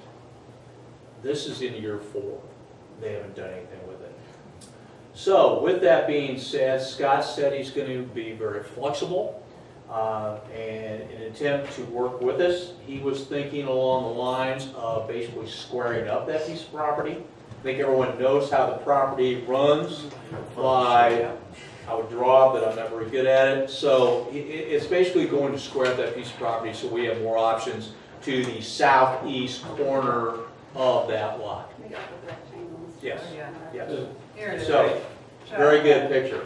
So, yeah, by squaring it off a little bit, we have more property around there in which to develop or for Scott Fleming to look at and do something with. Um, I shot Scott an email prior to coming in here, and uh, I think that Scott Matthews had spoken with Waters about contacting them as well. So, it's kind of a bit of good news. I think everybody needs to be aware of that. However, before we go in, or going any further, we need to talk about the construction manager at risk. Um, Brian has prepared uh, the qualification, request for qualification, and also the request for proposal. Uh, As we talked last time, it is a two-step process, and part of that process is the board is going to, or a selection committee is basically going to have to interview, is going to have to um, go through the process of making some selections here and then make a recommendation back to the board how we want to do this. You can look on page four of the request for qualifications, there is a timeline. And this is a timeline that in order for it to move through smoothly, uh, we need to go ahead and um, file it. Brian is going to push that out on Wednesday, correct, Brian? Yeah. Uh, The first step, which is the request for qualifications, uh, and then the, you see the timeline there on page four, when everything else is going to be due, when you need to make a selection, when you determine a short list, and then we'll also request proposals from that short list of people that have uh, turned in their qualifications. So, what I'm asking from the Board of Education is to make a determination of whether you want the entire board to be part of this, and if the entire board is part of this, we're gonna have to honor this timeline in order for it to go through efficiently. Or if not, you want to select a committee, a committee of three individuals, as an example, to go through that selection and then make a recommendation back to the Board of Education uh, as a whole. I'd Be in favor of the committee. I just, gonna s- I- that, to me, that seems the most efficient way. I did want to let everybody know the dates that I picked, I had to kind of just pick dates. So there's a, there may be, a there's not a lot of flexibility because we, you've got a lot to get done and to stick with the Scott Fleming timeline, you really need to, you need to have everything done essentially in the month of July. We've got to publish a couple times, you know, so that takes, that takes a little time. But I mean, if you needed to do, if you needed to meet on the eleventh instead of the tenth, you know, or the twelfth, you know, there's, there's a bit of, but we need to decide that probably tonight. So if you're gonna be on the committee, everybody who's gonna be on the committee, or if it's gonna be the whole board, needs to, because once we, I- we don't want to change them unless we really have to, once we get these dates out there. Really, the the only hard fact is the, the interviews, isn't it? Yeah, that, but also the dates that you're, you would also meet on the tenth to make the short list. Yes. Oh, You have to review those uh, So it's gonna be, it's gonna be two, two days, which would be, the- right now, the afternoon of the tenth, and then the twenty-fifth for the interviews. Of course, the interviews are gonna take longer than anything. I I, I would suggest you do a committee, and, and I would suggest that I don't know very much about this, so I wouldn't be able to be accountable. Yeah. I mean, I, I wouldn't, couldn't lend a lot of help. The tenth and the twenty-fifth, I am out of pocket, so I'm good on the committee. Looks like we're going through the process of elimination. Both both those weeks don't work. I- I'm available. I'm available and would be interested to serve on it. Okay, so I'm, I'm sorry, that you are? Kyle, did you say you were interested? No, you're not? Those two dates, um, Okay. And you all have really complete flexibility how many people you want on your committee. Sure. Um, I just threw out three. Well, you know, you, it's traditionally three, but it's gonna be closed regardless because these are dealing with closed, these are dealing with sealed proposals under the statute. So it would be closed until after, the, the meeting would be closed in any event, even if it was the full board. Actually, it's not true, the tenth. But now the tenth, you wouldn't have to have all the committee members there necessarily. Well, you, you're gonna make a short list, and you're gonna rate these things. Yeah. And you're gonna rate them on the qualifications, so, and that's forty percent of their, of their non-cost. Well, but the committee could meet at five. Yeah. Right. Oh, yeah. Yeah, that's my, that's my point. Is that your point? Yeah, that Yes, could happen. yes. Yes. I, But- I, I could be at both, both dates then if I, No, if no. I had a little wiggle room You on you the. can't do it before noon Yep. on the tenth, but you could do it at six, you could do it Yeah. at seven. We do later in the evening. Midnight. I was But gonna I could, I could meet most anytime on the difficult. twenty-fifth. On the tenth? Would that be something that you could do do? it afterwards. Yeah, like later in the evening? Mm-hmm. Okay. Yeah. I'm, Johnny, you're I'm on. up for it. And I can be available all day on the twenty-fifth, so. I would, I would guess that the interviews are gonna take almost all day. Yeah, I would think so too. I I, I just don't have a plan for that. If you have a list of five, and they take an hour and fifteen minutes, by the time, You don't want to start at five in the evening, is what you're Right. saying. You're gonna have to budget almost two hours for each, You- you- for any o- overtime. overtime, or, you know, bathroom breaks and Yeah. lunch and everything else, you're, you're talking about a day. I, I just, and, you know, it- you you don't, you don't, you have to interview between two and five, and probably, you know, if you have a short list of five, you probably want to interview them all, I think that makes sense, so. Will Scott be available and are we gonna have him? I think we talked about this before though, didn't we? Yeah, we took, I, I sent Scott this, and the idea was to have Scott available by phone or by, you know, you know, by video. Okay. Um, I, I've not heard back from him regarding the specific dates. Okay. So Chad, me, Scott, anyone else? And It's not, Heather. You all can do it.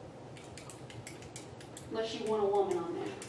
That would be my only concern. it might be interior, interior, no, I'm kidding. Hey, It doesn't matter, I'm just saying, I'm I'm not- good with I can't I'm design be, I'm interiors. good with. It, it doesn't matter to me, whatever you guys wanna do.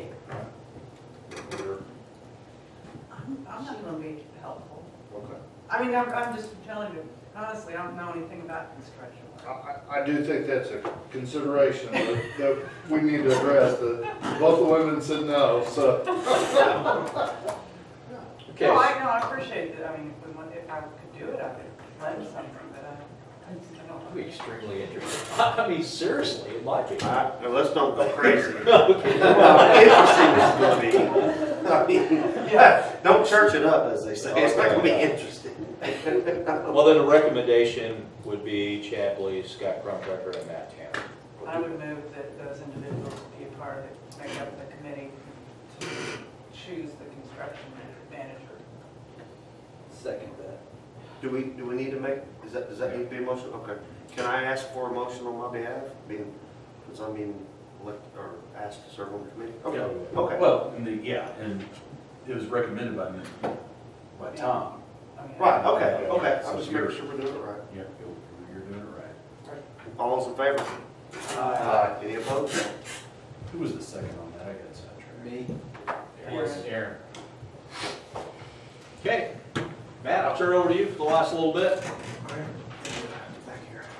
Okay, I'll go over the consent agenda, consent agenda items. Acceptance of the 2016-2017 Transportation Ridership Report and approval of board policy as proposed by MSBA ADF. I move we accept the consent I second. agenda.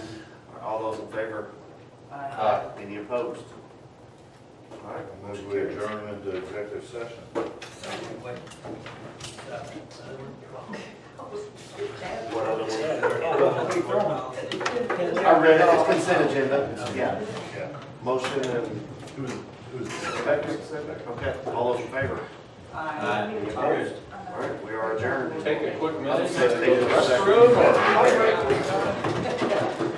Oh. Oh, yeah, not here, Mom. Oh, okay. Sorry, Tom. Listen, sorry. Yeah. Yes, yes, I read through it, sorry that's kind of, that's kind of how I, I see it as well, but I just want to make sure. I assume it's always has been.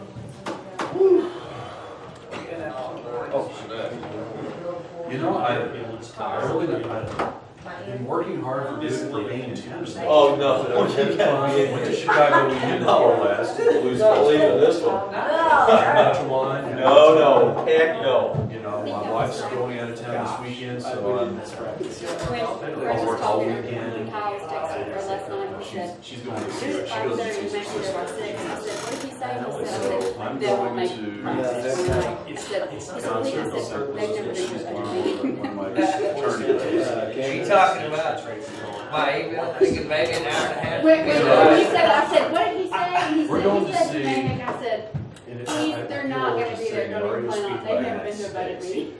And my wife. I saw the clock go past. I was like, That the concert is sponsored by I said, don't think, I was AARP. like, you're what's. So it really, so it's just gonna be a bunch of you guys like old Kraft did. I kept guys, you know,